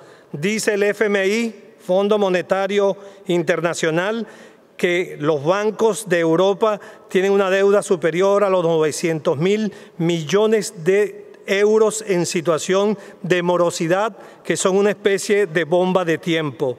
Esa es la zona con más empleo y salarios y precarios, pero que ha justificado lamentablemente poner la crisis capitalista en hombro de los trabajadores, de los trabajadores manuales y de los trabajadores intelectuales al instalar la austeridad que golpeó el estado del bienestar y particularmente la democracia, sus valores irrenunciables, la de ustedes y la de nosotros, el valor de la solidaridad, el valor de la igualdad y el valor de la paz. Para nosotros, esta profundización de la desigualdad es una excelentísima oportunidad para que la izquierda europea, diversa, plural, pero izquierda, y la izquierda latinoamericana, diversa y plural, pero la izquierda, podamos marchar juntos para construir mejores mundos, mejores sociedades. En segundo lugar, digo La ofensiva autoritaria del neoliberalismo se ha instalado en América Latina, intenta desestabilizar y amenaza a gobiernos populares y progresistas, como el de Venezuela, mi país, el de El Salvador, Nicaragua, Ecuador y Bolivia, y acaban de perpetrar un golpe parlamentario contra la presidenta legítima del Brasil, Dilma Rousseff la izquierda de América Latina damos respuesta, intentamos dar una respuesta. Desde el Foro de Sao Paulo estamos construyendo y aspiramos a aprobar este próximo año un documento contra el consenso de Washington aspiramos a aprobar un documento que hemos llamado el consenso de nuestra América, para reforzar en él nuestros valores, nuestra visión de sociedad y, por supuesto, colocar en el horizonte temporal que luchamos por una sociedad integrada, justa, pacífica en la América Latina. Y por ello celebramos el seminario que hicimos con pie hace tres días acá en Berlín, donde compartimos visiones, no únicas, visiones, pero que es una convocatoria a cumplir que en este momento de incertidumbre y de lucha debemos poner rigurosidad a nuestro pensamiento para actuar y poder pronunciarle al mundo que los socialistas, los progresistas, los revolucionarios sostenemos el ideal de sociedad socialista el de la igualdad sustantiva en los derechos para decir de nuevo, otra vez, en la vieja historia socialista, que la igualdad y la solidaridad, como la utopía no egoísta de la historia humana, sigue siendo nuestra principal bandera. Finalmente, aprovecho esta oportunidad para denunciar acá, en Europa y desde Europa, al mundo, que el gobierno de los Estados Unidos de Norteamérica, a través del Departamento del Tesoro norteamericano, ha iniciado un proceso de bloqueo financiero silente e ilegal contra la economía venezolana. Están utilizando las calificadoras de riego y los bancos comerciales y de, inversión a través de prácticas inequitativas y coercitivas que afectan la tranquilidad social y emocional de nuestro pueblo. Han retirado, uno, los bancos corresponsales del Banco Central de Venezuela para bloquearnos en el manejo financiero de la deuda externa. Dos, han prohibido a los bancos norteamericanos que nos presten el servicio de las cartas crédito para el comercio de exportación e importación, golpeando las importaciones de alimentos y de medicinas que tiene que hacer la República. Y, y tres, hacen calificaciones de riesgo país de manera sesgada, sin criterios técnicos económicos, para encarecer la emisión de deuda externa y con ello, por supuesto, bloquear la posibilidad de que accedamos a fuentes de recursos extranjeros al encarecernos de manera gravosa. Denunciamos aquí y pedimos el apoyo porque esto no es otra cosa que una injerencia extranjera de los Estados Unidos de Norteamérica en nuestros asuntos internos. Y desde aquí decimos que queremos y vamos a seguir siendo una patria altiva y soberana. Nuestras luchas son las de ustedes. Vuestras luchas son también nuestras luchas. Vuestras victorias serán nuestras victorias. Que viva la izquierda insurgente, unitaria y popular de Europa. Muchas gracias.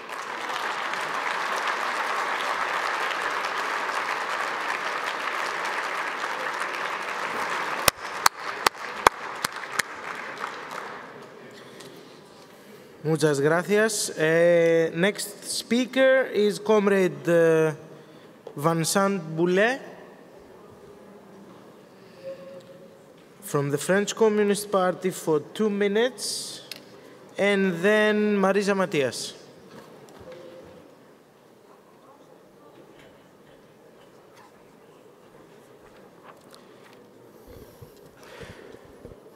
Chers amis, chers camarades, je souhaitais revenir sur les, les, enjeux des élections présidentielles et législatives qui auront lieu en France en 2017. C'est un enjeu majeur en Europe et c'est un enjeu majeur pour l'Europe. Dans tous les sondages, la droite est donnée vainqueur et l'extrême droite est en embuscade. le paysage politique français est en pleine recomposition.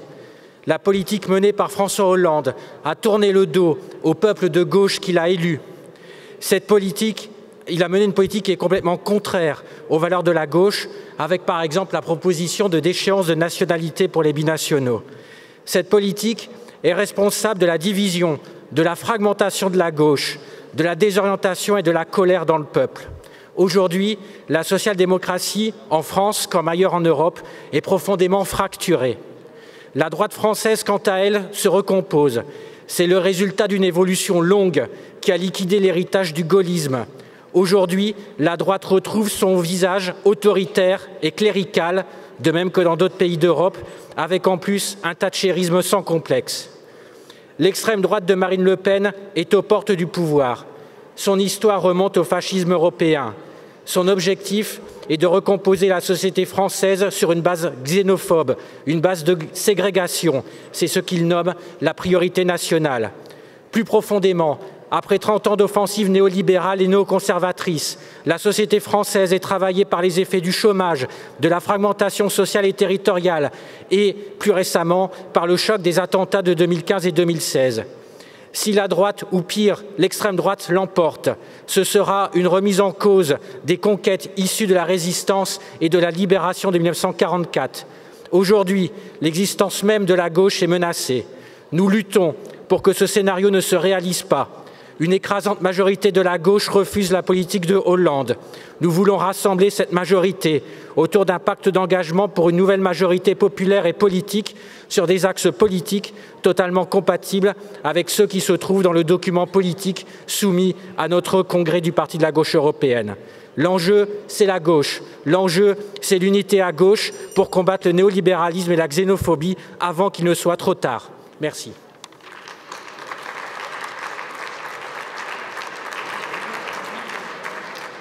Thank you very much. Uh, Marisa Matias for eight minutes from the left block of Portugal and then Mirko Messner from Austria. Dear comrades, good afternoon. Let me start to speak a little bit about Portugal and the situation in Portugal as we don't speak much about what is happening in Portugal. As you know from last year, the left bloc with other left-wing forces were able to force a minority government of social democrats to start to implement a social program. We were able to stop all privatizations in the transport domain. We were able to start to increase salaries and pensions. We were able to recapitalize the public bank. We are able to increase a lot of rights which were totally destroyed under Troika. Mainly, we were able to try to block the destruction program from Brussels and the Troika. That was our task, but it is far, far uh, distant for what we need to do in order to really change Portugal. We were able to do this because we didn't lost our flags, we didn't lost our identity, but we know that there's no contradiction between identity and capacity of convergence when we need to be on the side of the people and try to fight for their rights and for their quality of life. As I said, we didn't lost our flags, we didn't lose our identity. But at the same time that we are at the side of the left-wing forces and the social democrats to recover the quality of life and to end austerity and to stop austerity in our country, we are still fighting with them when it comes to European rules we are still fighting with them because we do not accept the rules coming from Brussels. We do not accept a fiscal compact which does not enable to have public investment. We don't accept the rules of the economic governance package. We do not accept the rules of the Stability and Growth Pact from Europe, which always punishes the weak always, always punishes the weak. So we didn't give up our, of our flags, as I said, but we thought that we needed to have an emergency program to try to start to save our country. here in this Congress, we face this issue because we know that we need to keep our principles. But we also know that in order to put in practice our principles, we need to reach the power. And the principles without power mean nothing to people's lives. But also, power without principles means nothing to people's lives. That's the balance we need to find and we need to search. In this Congress, we are here with a huge and deep tension within the different delegations. The tension about the European Union. Some of us think that it's not possible to reform anymore the European Union. Some of us think that it's still possible to reform the European Union. And that's the key issue, one of the key parts of our debate in this Congress. I have to tell you in a very honest way this could be the central key debate if we would be in power. We are not still in power.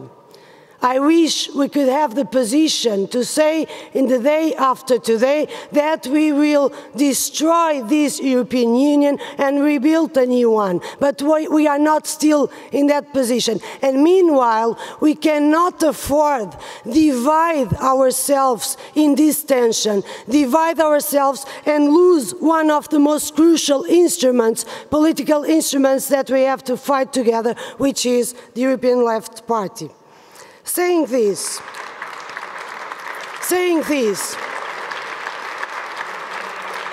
I also believe that in the way that the European Union is going, and as the days pass, are, are, passing by, at some point we will not have any dilemma to solve because the European Union will solve that dilemma for ourselves. So we will not even have the time to change our thesis because the, the, the way of fragmentation, this, the, the destruction, and the way of macroeconomic imbalances is really putting us in a situation that is not bearable anymore. But we have a lot of things in common. And I wish that we could think about our unity and the fights we have to do in common. Otherwise, it would not be possible for us to be here together. And then we are here together and we can be together. And yes, it's possible to keep doing work together. In common, we have a lot of things. We all think that we cannot solve this only at national level, beyond borders. But we also all think that we need to start be, be uh, inside our national borders, in our own countries, fighting to gain more and more power and relevance in order to then work together and be able to create the left force that we need to be in order to answer to the concrete problems of the concrete people of our societies we don't have only these issues in common. We have also other issues in common in fights that we have to take together.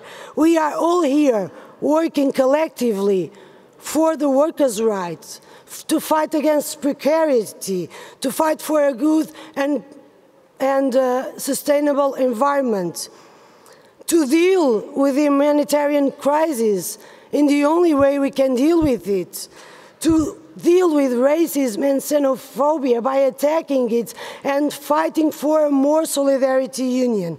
To have a feminist Europe, for God's sake. We need a feminist Europe. We also have we also have a common flag which is the movements for the peace against the militarization of the European Union. We are all together on that. We don't need to reinvent the wheel. We just need to do together what we, we know to do best together. And sorry, we cannot waste our time just with the fight of the division. We need to come together in unity. And we will not do that We will not do that only in the framework of the European Union. I'm sorry, but there's a lot of world outside the European Union. Europe is much more than European Union. We have global fights to share with our comrades for Latin American and other areas who are here talking with us. But within the European Union, within Europe, we cannot also close ourselves inside the frames of the European Left Party. We need to work with all the movements, with Plan B, with social movements, with trade unions, with all the progressive forces. We are not enough. We are just still a few. We need to be stronger. We need to be more. And let me finish, comrades, just to say a few words, because it was a real honor and a pleasure to be vice president of this party over the last, last six years. I want to thank to all of those who were in the direction of the party but mainly I want to thank to the office of the European left in Brussels. They are those who are there every day doing, doing our job. So thank you for the privilege and let's keep working together. There's a lot of things to do.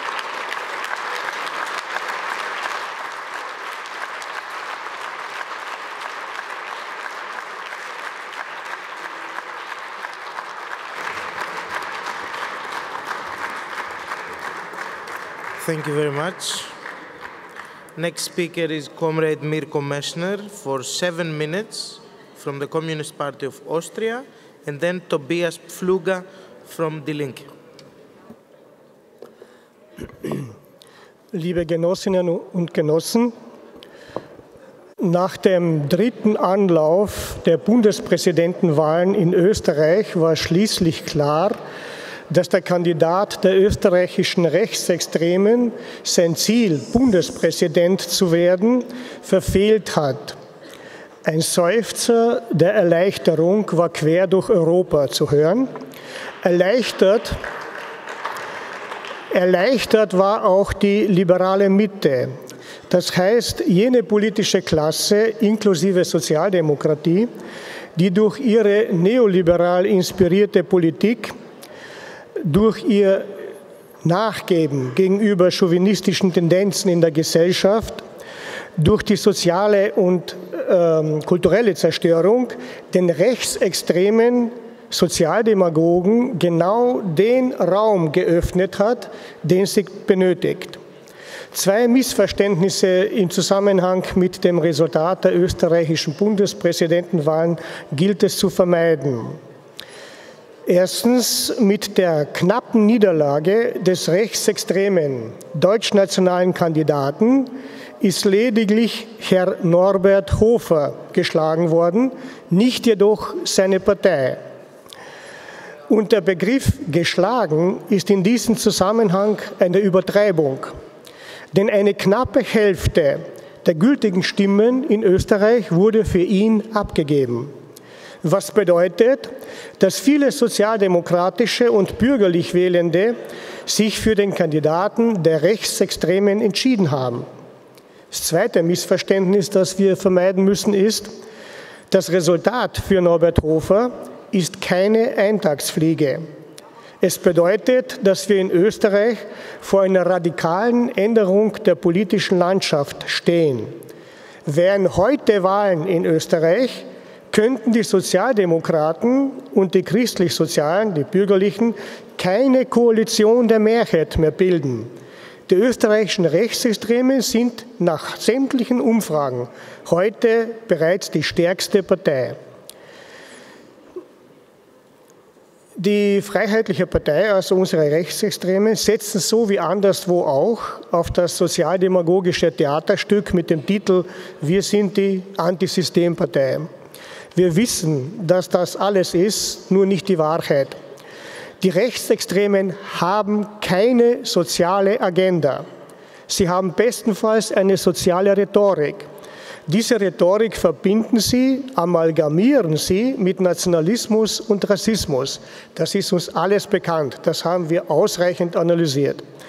Die Frage, die uns noch zur Lösung bereitsteht in Österreich, ist, wie können wir den Raum für die Rechtsextremen einengen? Wie können wir jenen Raum besetzen, den die Sozialdem jenen sozialreformerischen Raum besetzen, den die Sozialdemokratie verlassen hat und gleichzeitig verhindern, dass wir uns von diesem Raum einengen lassen. Wir arbeiten daran. Aber erlaubt mir jetzt schnell noch einen zweiten Gedanken zu äußern, betreffend uns, unsere Versammlung, die Europäische Linke. Wir beschließen heute, zukünftig jährlich zusammenzukommen in einem europäischen Forum. Diese, dieser Gedanke, diese Idee ist sehr gut. Sie kann uns ermöglichen, uns über ein Flaggschiffprojekt zu einigen, über ein Projekt, das europäisch konzipiert, aber bis auf die unterste kommunale Ebene handlungsanregend wirkt.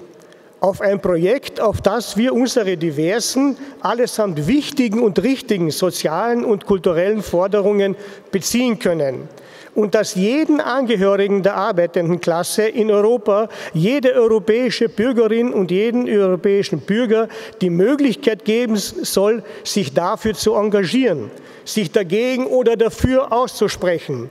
Ich meine, unser Problem ist nicht, dass wir den Menschen klar machen oder den Menschen klar zu machen, dass die Lage beschissen ist.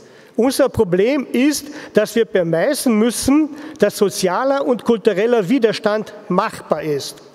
Dass Ohnmachtsfantasien nicht berechtigt sind. Dafür bemühen wir uns alle im nationalen Maßstab. Und es ist Zeit, dass wir das auch im internationalen Maßstab hinkriegen.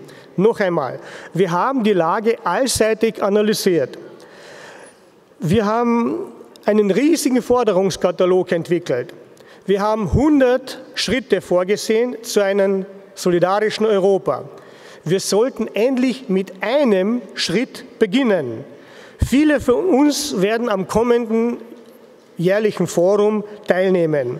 Und wir sollten an diese Vertreterinnen der Parteien und der Bewegungen den Anspruch stellen, aus ihren jeweiligen nationalen Erfahrungen heraus ihren Vorschlag nicht für 100 Projekte, aus Ihnen, sondern einen Vorschlag für ein Projekt, für ein Projekt des sozialen Widerstands auf europäischer Ebene zur Diskussion zu stellen. Das Projekt kann auch ein friedenspolitisches Projekt sein.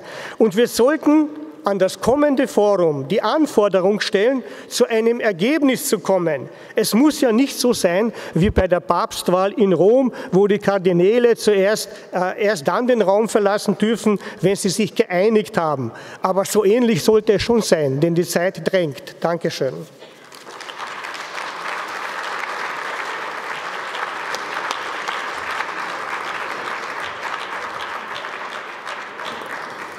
Thank you very much. Next speaker, Tobias Pfluger from Die Linke for three minutes, and then Luis Fazenda. Liebe Genossinnen und Genossen, noch einmal herzliche Begrüßung hier in Berlin. Ich freue mich immer, wenn internationale Veranstaltungen stattfinden, weil ich glaube, Internationalismus ist auch eine klare Antwort gegen rechts. Es ist auch eine Antwort gegen das, was wir im Moment in der Europäischen Union erleben, nämlich eine unglaublich starke Dominanz der deutschen Regierung. Es war nicht zuletzt Angela Merkel, die dieses Spardiktat gegen Griechenland durchgesetzt hat.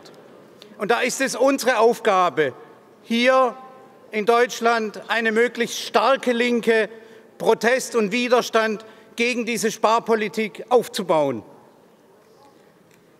Liebe Genossinnen und Genossen, es war der Brexit, die Entscheidung dafür, und es wurde in den USA Donald Trump gewählt.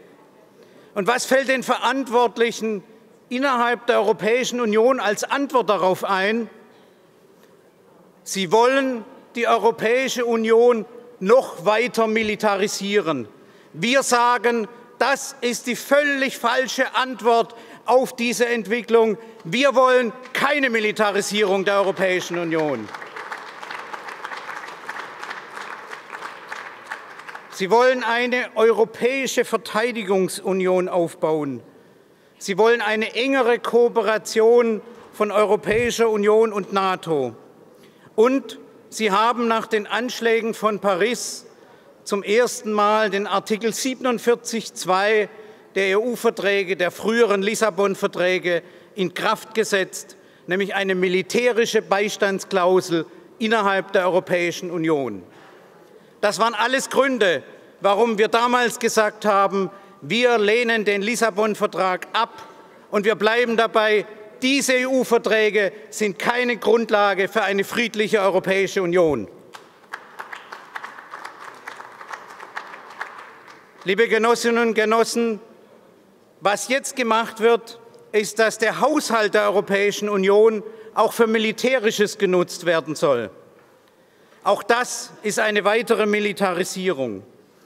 Und die NATO hat vorgegeben, dass zwei Prozent des Bruttoinlandsproduktes der einzelnen Länder für Militärisches ausgegeben werden soll. Das würde in Deutschland bedeuten von 39 Milliarden Euro auf bis zu 60 Milliarden Euro. Liebe Genossinnen und Genossen, wir wollen nicht, dass dieses Geld für Militärisches ausgegeben wird. Wir wollen, dass endlich in soziale Infrastruktur investiert wird. Und das Ganze geht einher mit dem, dass der militärisch-industrielle Komplex im Bereich der Europäischen Union weiter ausgebaut wird. Und es werden immer mehr Waffen, nicht nur von Deutschland, sondern von den verschiedenen EU-Staaten in auch Krisen- und Kriegsgebiete geliefert. Und liebe Genossinnen und Genossen, diese Waffen werden auch geliefert in Länder, in denen sie konkret im Krieg eingesetzt werden. Die Türkei hat mit aus Deutschland gelieferten Leopard 2 Panzern in Syrien interveniert. Und wir sagen klar, wir wollen nicht, dass diese Waffen exportiert werden und wir wollen, dass die Türkei endlich aufhört mit ihrem Krieg gegen die Kurden.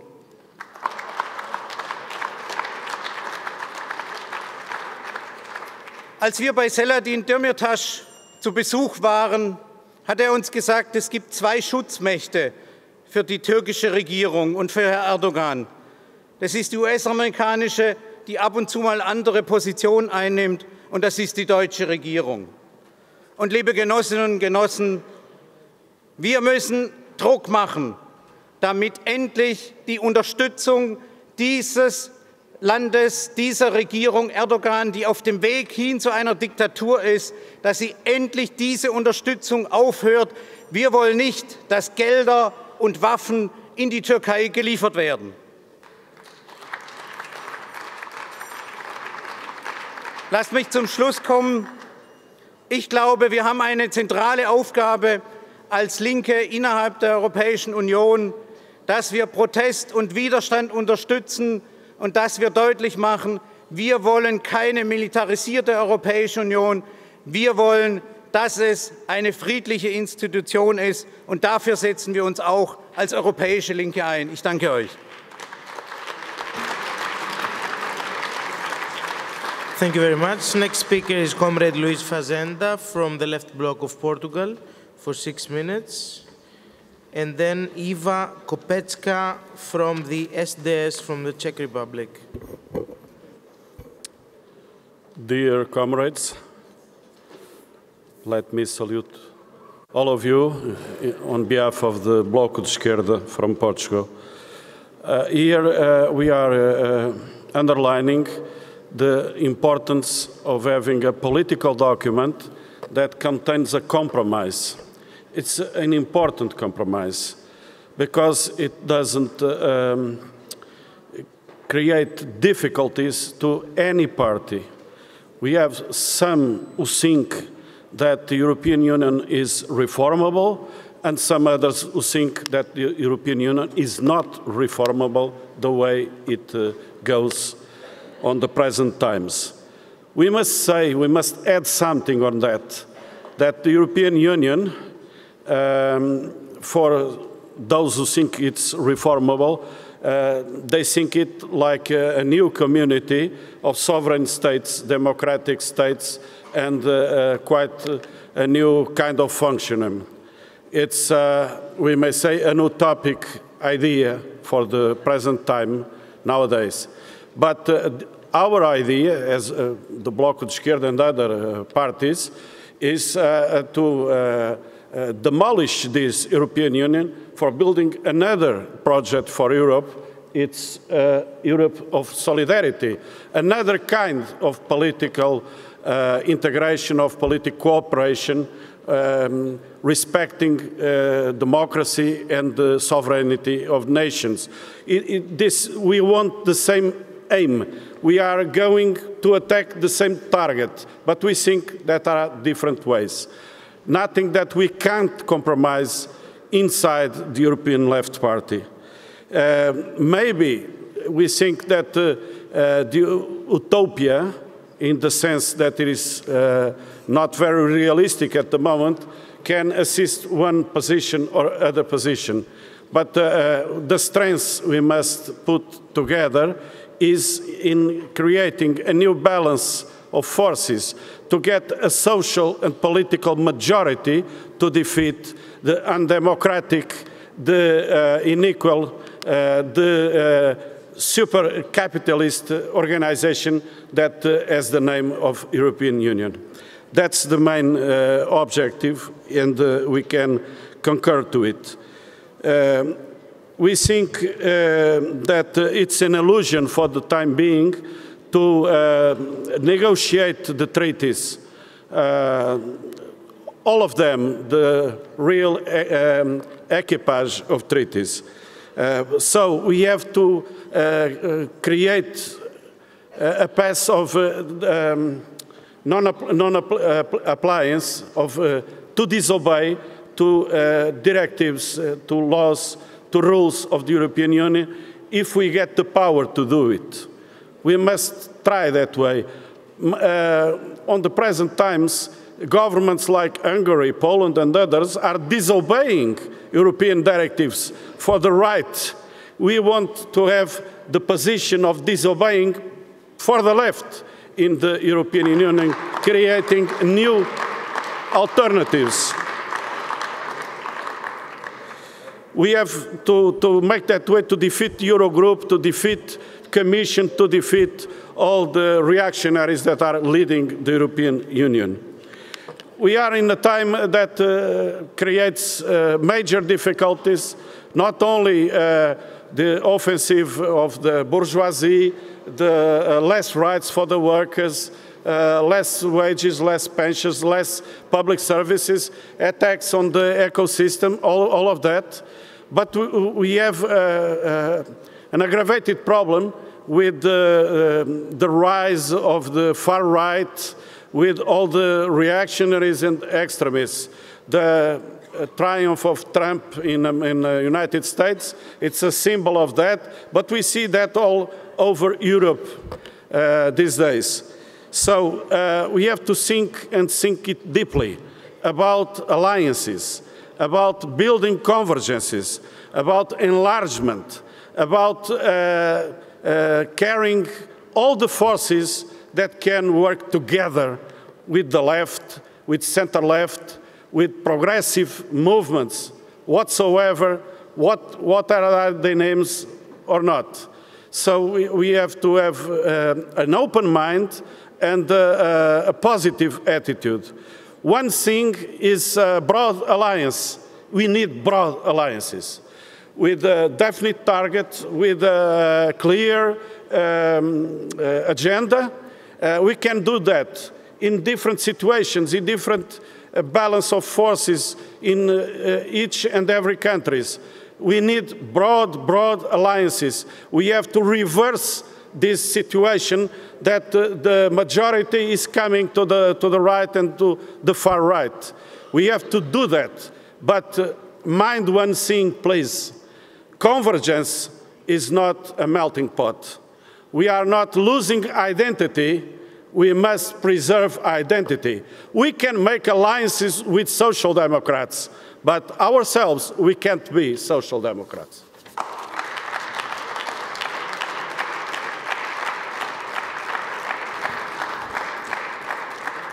Thank you very much. Next speaker is Eva Kopecka from SDS Party, the Czech Republic, for five minutes. And then Eric Coquerel from Parti de Gauche from France. Thank you.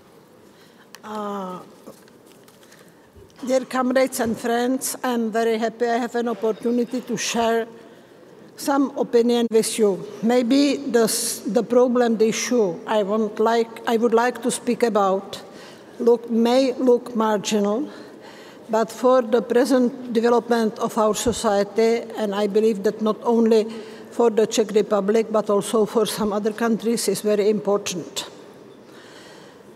Uh, I would say about the situation which is emerging in our country after 1989, where, the, where our society was basically changed. With the change of the society, also some basic features of the development has been changed.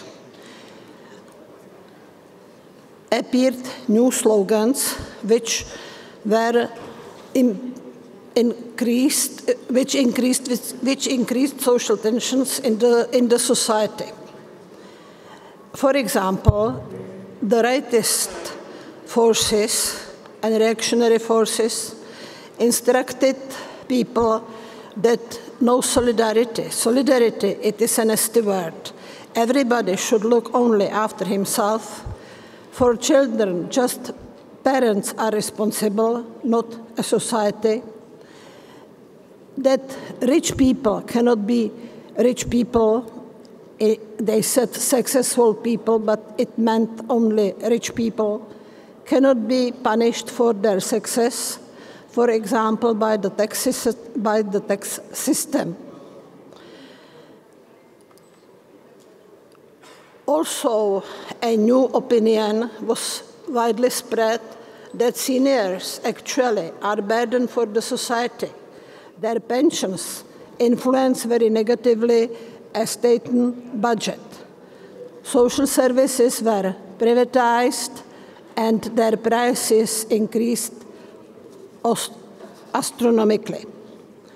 As a result of such policy, new phenomena appeared. For example, poverty. We didn't know poverty before, but the result of the present development is that in our country, which always was considered as a developed country, every children, every tenth children is starving. It's no secret, it's no opinion of the left uh, forces. There are big uh, posters in the streets asking for help. Uh, new types of criminality appeared, which we didn't know before drugs, murders, and suicides, the number of which increased dramatically, racist violence, etc. All this, of course, you know from your own countries. As the final result of this, we can select of respect to basic human values as solidarity, dignity, mutual respect, violation of human rights, and democratic principles. One of the main slogans after 1989, it was freedom, freedom, freedom. It was everywhere. Today we see that instead of genuine freedom in our country, more or less it was substituted by an anarchy. Children and young people do not respect their parents, teachers, adults, who do not respect each other. Freedom of speech is misused, and very nasty and brutal words are being used in official language, including mass media and other public sources. Politicians are not ashamed to use very brutal methods and insults in their competition struggle.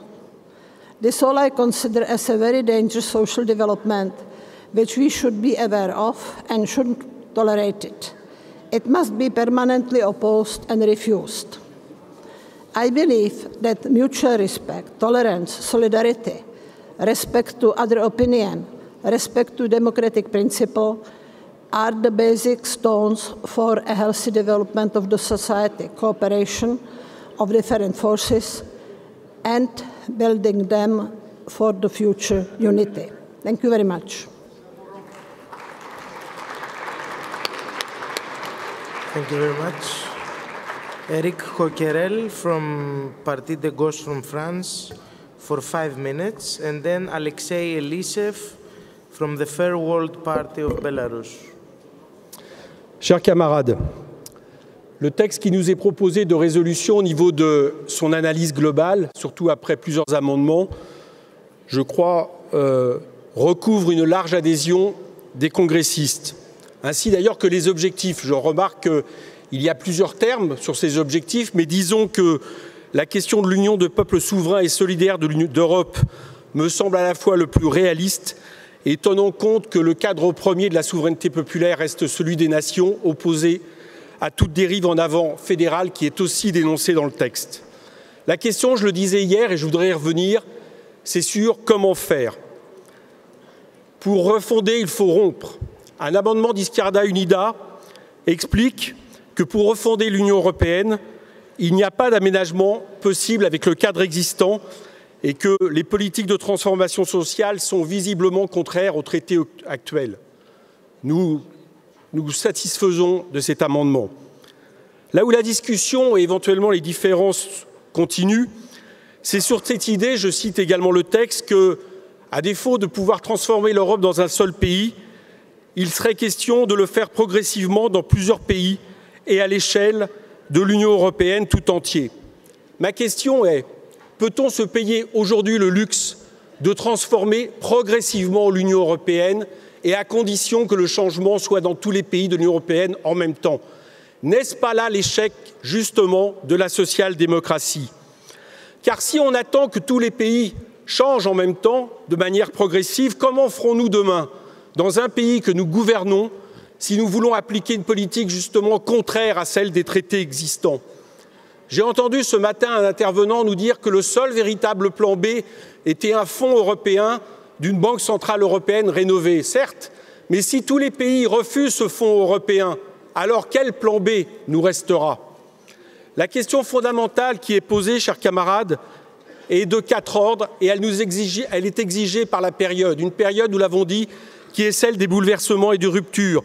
Une période, nous l'avons dit, si nous prenons au sérieux nos textes, où le social-libéralisme a échoué et donc peut nous laisser d'autant plus la responsabilité de l'alternative gouvernementale dans nos pays.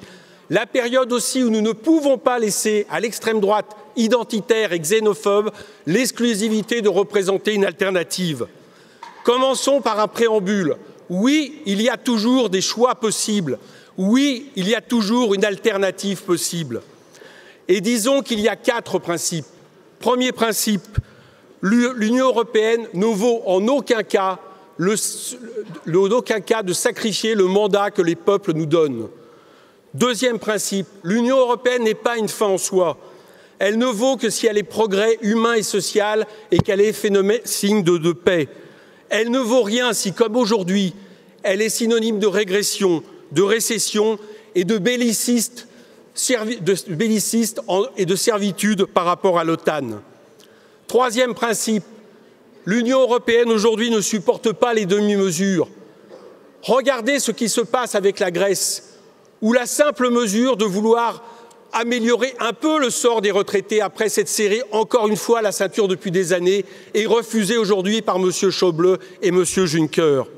Et enfin, quatrième principe, c'est que derrière l'Union européenne, la question de la géopolitique continue à exister les nations continuent à exister et elles ne sont pas toutes égales les unes aux autres. Oui, il faut le dire, aujourd'hui l'Union européenne est dominée par exemple par le capitalisme allemand, Dire qu'il y a un capitalisme supranational n'est pas contradictoire avec le fait de dire qu'il y a aussi un capitalisme national qui continue à travailler avec des visions impérialistes, l'Union européenne que nous connaissons aujourd'hui. Et si nous voulions nous en convaincre, il suffirait de voir que dans la dernière nuit de négociations avec Alexis Tsipras, ce n'étaient pas les 27 pays membres qui étaient là, c'était M. Juncker, Mme Merkel et son caniche, M. Hollande. La question que nous dit-on, c'est, et je le dis, c'est à partir d'un seul pays, que pouvons-nous faire? Je voudrais rassurer les camarades, car je sais que des questions se posent. C'est tout le contraire du repli sur soi. C'est tout le contraire d'une vision qui ne serait pas une vision internationaliste. Reprenons l'exemple. 2017, Jean-Luc Mélenchon est élu. Je suis d'ailleurs satisfait de savoir qu'une motion va être présentée de soutien à cette possibilité. Ça serait, convenons-en, une bonne manière à la fois euh, de fêter, euh, enfin de fêter, entre guillemets, le 60e anniversaire du traité de Rome, mais surtout le centième anniversaire de la Révolution d'octobre. Jean-Luc Mélenchon est élu. Qu'est-ce que nous faisons au premier Conseil des ministres européens Nous disons plus question de la règle d'or et de l'austérité, plus question de sacrifier nos services publics, plus question de déréguler le travail, les lois sociales, la protection sociale, plus question d'un euro fort au service d'une politique monétariste et d'exportation. Oui, il faudra remettre à plat les, traités. Et sinon, évidemment, avoir en recours un plan B qui est celui d'une désobéissance unilatérale aux traités européens. Et croyez-moi, chers camarades, si nous faisons ça, je conclus, si nous faisons ça, nous ne serons pas dans ces cas-là les seuls à imaginer une autre construction européenne. Quand nous parlons du plan A, ce n'est pas juste de la propagande, cela peut réussir. Pourquoi? Parce que si demain le pays qui fait 18% du PIB dit nous menaçons de rompre avec l'Union européenne, Croyez-moi que tous les pays en Europe, y compris l'Allemagne, réfléchira à deux fois sur ce que cela peut signifier. Et surtout, croyez-moi que cela aura un effet d'entraînement dans tous les pays d'Europe, dans tous les peuples d'Europe, y compris pour nos camarades de Die dans celui qui votera quatre mois après, c'est-à-dire en Allemagne. Voilà ce que nous nous proposons de travailler concrètement en mars 2011 dans le sommet du plan B. J'ai entendu tout à l'heure notre camarade portugaise qui disait que c'était compatible, je le crois effectivement, il est compatible de travailler sur cette voie tout en étant au niveau du travail avec le PGE. Merci. Merci Eric. Uh, nächste Elisef Alexei, Fair World Belarus und in Vorbereitung Yannis Burnus von Syriza.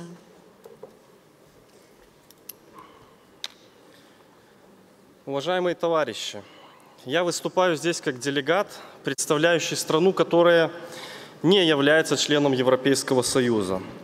Однако наравне со многими современными государствами Республика Беларусь также вовлечена в интеграционные процессы. После распада Советского Союза Беларусь приняла активное участие в формировании интеграционных связей на постсоветском пространстве. Она стала участником Содружества независимых государств – а также недавно Евразийского экономического союза. Беларусь также участвует в программе Европейского союза «Восточное партнерство». Напомню, что целью этой программы является создание условий, необходимых для ускорения экономической интеграции между Европейским Союзом и странами-партнерами Восточного партнерства путем содействия политическим и социально-экономическим реформам в Беларуси – в Украине, в Армении, Азербайджане, Грузии, Молдове. Но так же, как и в случае с Европейским Союзом, те интеграционные процессы, в которых участвует Республика Беларусь, служат прежде всего интересам капитала, а не интересам трудящихся. И поскольку все эти проекты интеграции являются реальными, левые партии и движения не могут их игнорировать. Партии европейских левых необходимо использовать возможности, существующие в рамках проектов интеграции в регионе Восточной Европы для продвижения своих идей и осуществления практических шагов для строительства социально справедливой демократической Европы. Для решения этих задач – для решения этой важной задачи партии европейских левых необходимо развивать восточное направление деятельности. Об этом и вчера, и сегодня говорили ряд выступающих, и я от имени белорусских левых также подтверждаю, что это очень важно. Благодаря активной, и, э, благодаря активной позиции инициативности, с которой работает рабочая группа партии европейских левых по странам Центральной и Восточной Европы, в этом направлении уже сделано много важных шагов. Сегодня я хочу поблагодарить всех участников нашей группы и, конечно, нашего координатора Маргариту Милеву за эту активную работу. Я хочу, я хочу также подчеркнуть, что за последние годы Минск стал столь же обычной площадкой для проведения мероприятий партий европейских левых, как и Берлин, и Мадрид, Париж и Брюссель. На протяжении всех последних лет мы э, ежегодно фактически проводим то или иное мероприятие европейских левых в Беларуси. Уважаемые товарищи, это очень важно для нас, это является самым лучшим выражением солидарности и поддержки со стороны европейских левых. Поскольку в следующем году будет отмечаться столетний юбилей Октябрьской революции, мы со стороны белорусских левых будем инициировать проведение партии европейских левых в 2017 году еще одной встречи, на которой мы могли бы обсудить как историческое, так и актуальное политическое значение для современного левого движения этого важного события мировой истории. Я говорю об актуальном политическом значении потому, что выдающиеся идеалы Октябрьской революции, свобода, социальная справедливость и народовластие все еще ждут воплощения как в Беларуси, так и в Европе. Уважаемые товарищи, несмотря на то, что я сказал, что Беларусь не является членом Европейского Союза, очень многие проблемы являются для нас общими, а в некоторых случаях для Беларуси даже более острыми. Если по отношению к странам Европейского Союза мы говорим о кризисе демократии, о чем так хорошо сказано в проекте нашего политического документа, то в отношении Беларуси мы должны говорить не о кризисе демократии, а об отсутствии ее на протяжении многих лет и даже уже десятилетий. После распада Советского Союза в Беларуси сформировалась крайне авторитарная политическая модель. Здесь не действуют демократические механизмы смены власти либо контроля над ней. Сама власть не препятствует деятельности только тех политических и общественных организаций, которые стали частью государственной машины – изменить эту модель, вернуть Беларусь на путь демократического, а значит прогрессивного, отвечающего интересам большинства развития, задача белорусских левых, которые они осознают как наиболее актуальную задачу. Касаясь вопросов международной политики, мы вместе с европейскими левыми отмечаем, что конфронтация и ее нарастание в различных частях Европы и мира, которые сопровождаются милитаризацией, ведут к новой катастрофе, Такое развитие ситуации выгодно империалистическим силам, так, это, так как отвлекает трудящихся от социальных проблем. С полным основанием мы можем утверждать, что противостояние между Европейским Союзом и Россией – этот взаимный поиск врагов, выгодный и инспирированный мировым капиталом. Капитал, как бы он ни был разнообразен, един в своих действиях. Он един в своих действиях, когда вводит меры жесткой экономии. Он един в своих действиях, спасая крупные банки – он един в своих действиях, борясь с нами повсюду в мире, а левые нередко разъединены. Я говорю это о том, потому что хочу подчеркнуть и призвать нас к товарищи, к тому, чтобы мы были едины. И тогда мы будем иметь счастье не только бороться, но и победить. Спасибо за внимание. Да здравствует партия европейских левых.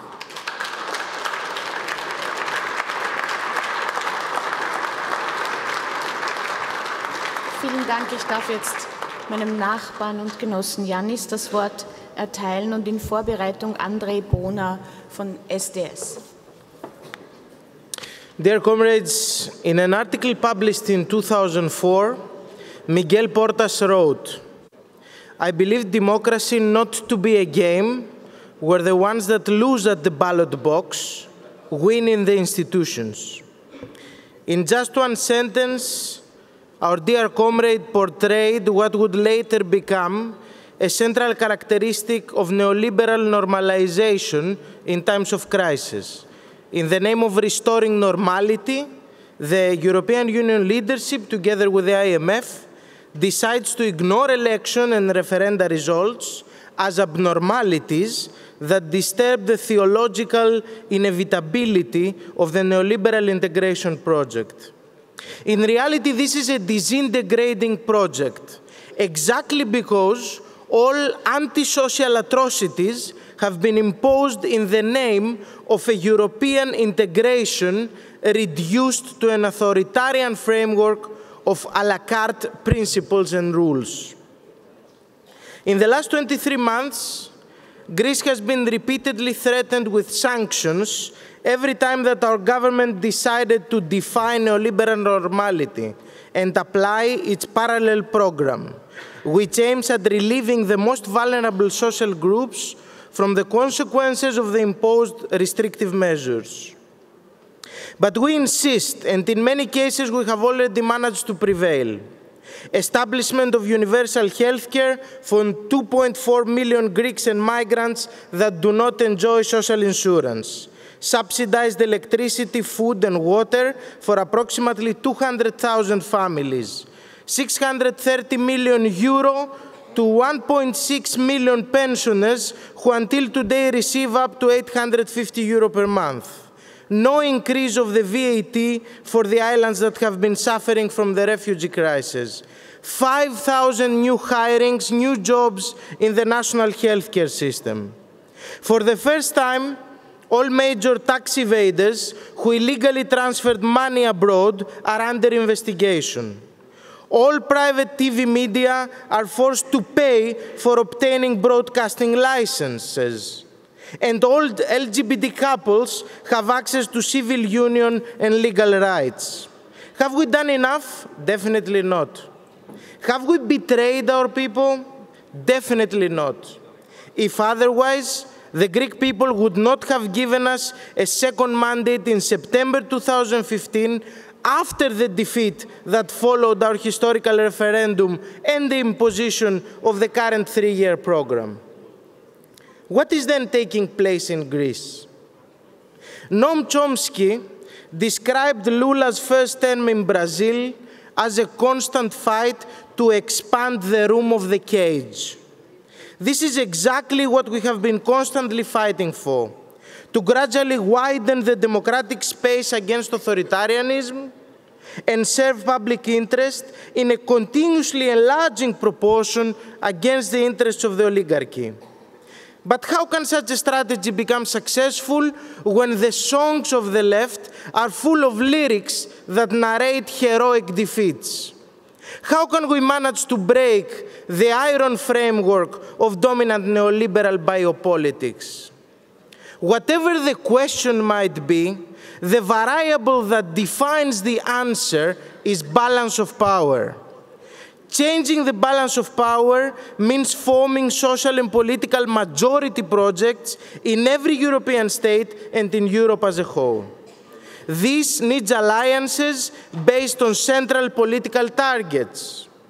Terminate the imposition of austerity programs and fiscal strangleholds, respect popular mandates, push the IMF out of the Eurozone, expand public investment, and promote social economy synergies for stable job creation and sustainable growth. The European left is a valuable political instrument for such a European alternative project, but it needs to enlarge and become a more attractive partner for those forces which until now either choose to remain outside or even participate in other political families, but at the same time are willing to sit around the same table with us. Our Congress slogan is building alliances. And in times of extreme social and political polarization, we need to think and act out of the box of the pre-crisis alignments if we wish to defeat the extreme center and the extreme right. Last but not least, our democratic sensitivity and solidarity cannot be a la carte. We cannot criticize the deal between the European Union and Turkey, but at the same time not call upon our national governments to respect the relocation program for refugees that are desperately waiting by thousands in Greece and Italy. We cannot interfere in the internal affairs of other left parties, even by promoting splits, and then ask for unconditional support for our own election campaign, or advocate in favor of democracy and mutual respect in the European left. We must leave these bad habits out of our common political home if we wish to transform it into a project of victory. And to tell you the truth, after concluding six years as an official member of the executive board of this party, I am today confident that we can make it. And I want to thank all the comrades with whom we worked in the executive board of the European left, including those comrades with whom we disagreed in the past or we disagree today because we need all to understand and remember what a valuable project this is, what a valuable tool that we have in our hands in order to win the battle for the balance of power. This experience have made me a richer human and a richer leftist, and we must always remember that even in the most difficult of times. Thank you very much.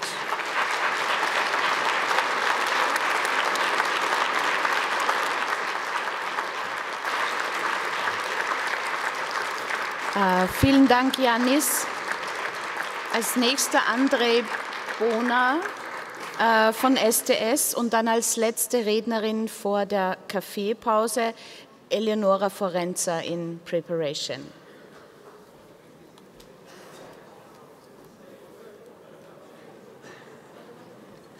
You know, sorry about the selfie, but my girlfriend has been texting me all day asking what are we actually doing here and why are we here. So I figured out that the best response probably would be to actually show her how many people gathered in one place to fight for the common cause. Well, anyway, uh, dear friends, comrades, brothers and sisters, I do not consider myself a big speaker, so I have only a couple of words uh, for you regarding the way we speak to the people in our countries, to the people we so desperately need uh, to achieve the goals we, we fight for. It was just yesterday when I've come across a study conducted uh, among young people in the age ranging from 14 to, from 14 to 20 years uh, who are studying high schools in the Czech Republic. Nearly one half of these people uh, uh, do not talk with their peers about the social issues, and uh, only 9% of them talks about ecology and animal rights. And you know, I think this sounds bad, right? Well, the fact that terrified me the most was that the issue of human rights didn't even make it to the list. Nevertheless, I, I'd beg to differ with the results of this study. People care about social issues, even us millennials. We are not indifferent to social issues, and I know it from my own experience. Let me give you a short example. Uh, a very close friend of mine, she's 21 now, uh, this week broke up with her fiance because she, she uh, he was sexist, racist, deeply conservative, and very traditionalist. And guess what? She didn't use the words sexist, racist, or conser conservationalist she said in her own words, he wanted her to stay in the kitchen all the time and that he hates random groups of people for arbitrary or no reasons. The world is changing quickly today, maybe even faster than it ever has. And people are, of course, scared. They need to feed their families and not having bombs falling uh, through their roofs. It's simple application of Maslow's pyramid. And after these basic needs uh, are not satisfied, people start blaming politics in general and its big talks leading solely to disillusion. So, do you want to talk to us? Go ahead. Tell us who's to blame for this madness. Tell us who, uh, who, who we should be mad at. T uh, tell us it's the fault of neoliberalism, the capitalism, of the obsession solely with one's interest. You can't ever stress this enough. But but start with but start with the story of your friend who got broke up last week. Start with the story of your neighbor who got evic evicted. Start with the stories of people who undertook unimaginable journey to save their lives. Just always start with a human story, because in the end of the day, this all the human rights are, are all about. Thank you.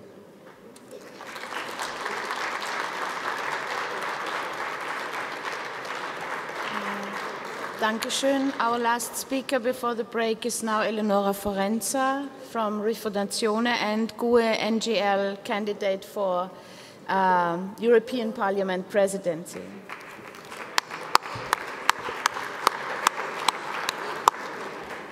Dear comrades, I'd like to thank you, to thank all the European left for organizing this Congress.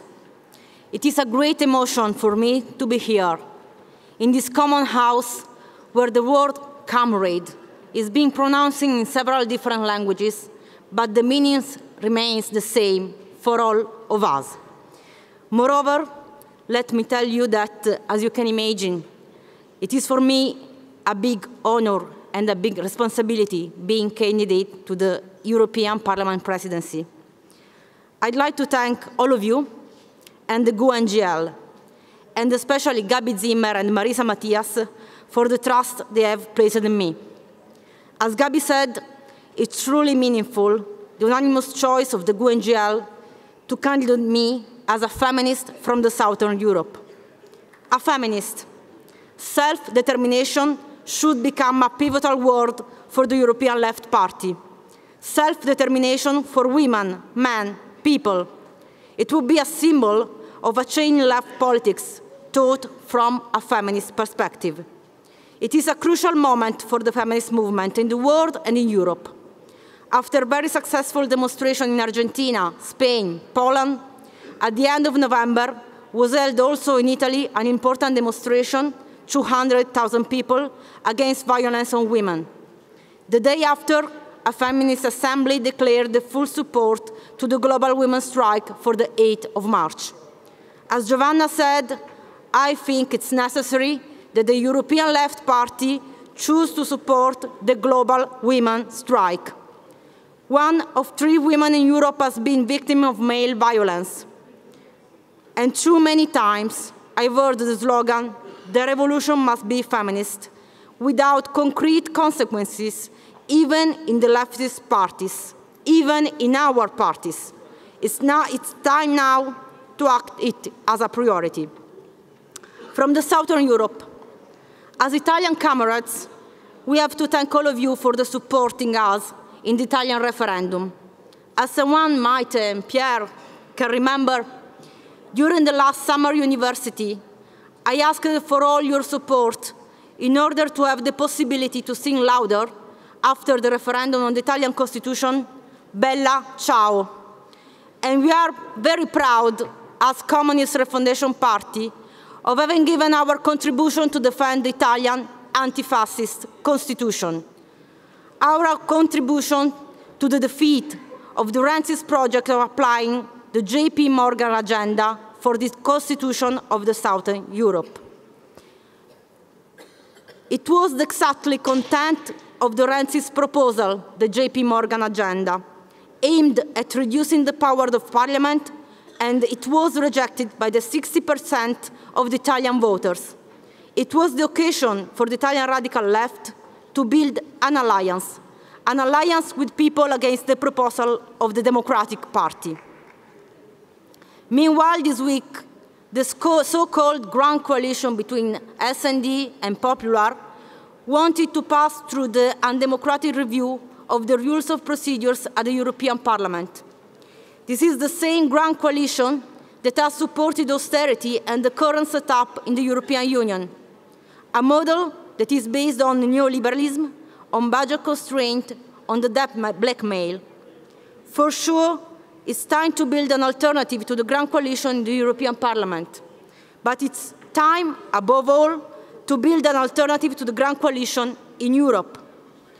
Building alliances is the, title, is the title of our Congress. Building alliances to build an alternative, transnational social alliances. So, who are our allies? In the 30s, Antonio Gramsci wrote in his notebooks about the importance of the hegemonic process, building a new common sense in order to change the balance of power between popular and dominant classes. There was a strategic demand in his analysis about the Western Revolution, and I truly think that the project of another Europe should be the actualization of the idea of the Western Revolution. In order to win the struggle for hegemony, in the lack of consent and democratic legitimacy of the dominant classes, we should empower our credibility as an alternative. If neoliberalism means the divorce between capitalism and democracy, and this is one of the causes of the structural crisis of the social democratic experiences, the anti-capitalistic left will be as much hegemonic as much it will be alternative to neoliberal parties, as the European Social Party actually is.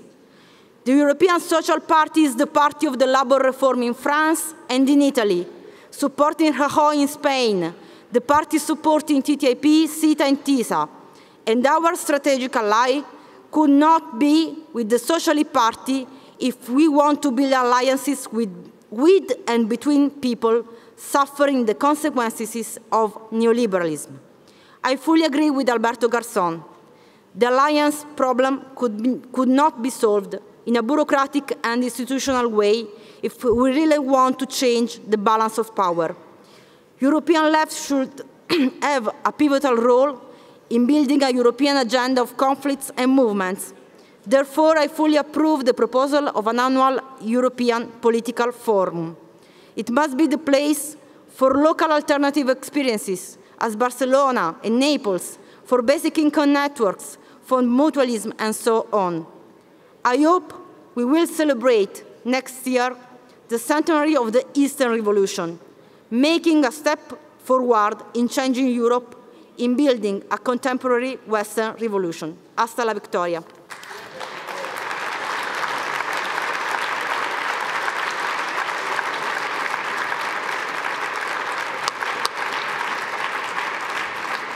Thank you, Leonora.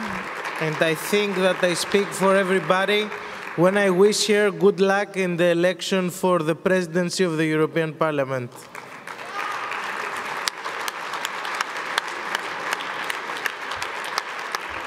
So, three announcements. Please uh, uh, focus. Uh, the first thing is that I remind you to, full, to, fulfill, to fill in the questionnaires of Transform. They are valuable tools for the assessment of our party. Second announcement, tomorrow at 11 o'clock in the restaurant, there's going to be a, a, meeting to get to know each other between, uh, among the people who are involved in the working group on Africa. The third announcement is that we're now going to a coffee break, but please pay attention. We need to be back in 30 minutes, so 6.50, 10 to 7. And please be back on time because we start with important procedures and we are entering voting procedures. So please be back on time at 6.50 and those of you who still haven't got their voting electronic equipment, please go downstairs to the basement to get it because you will need it after the break. Thank you very much.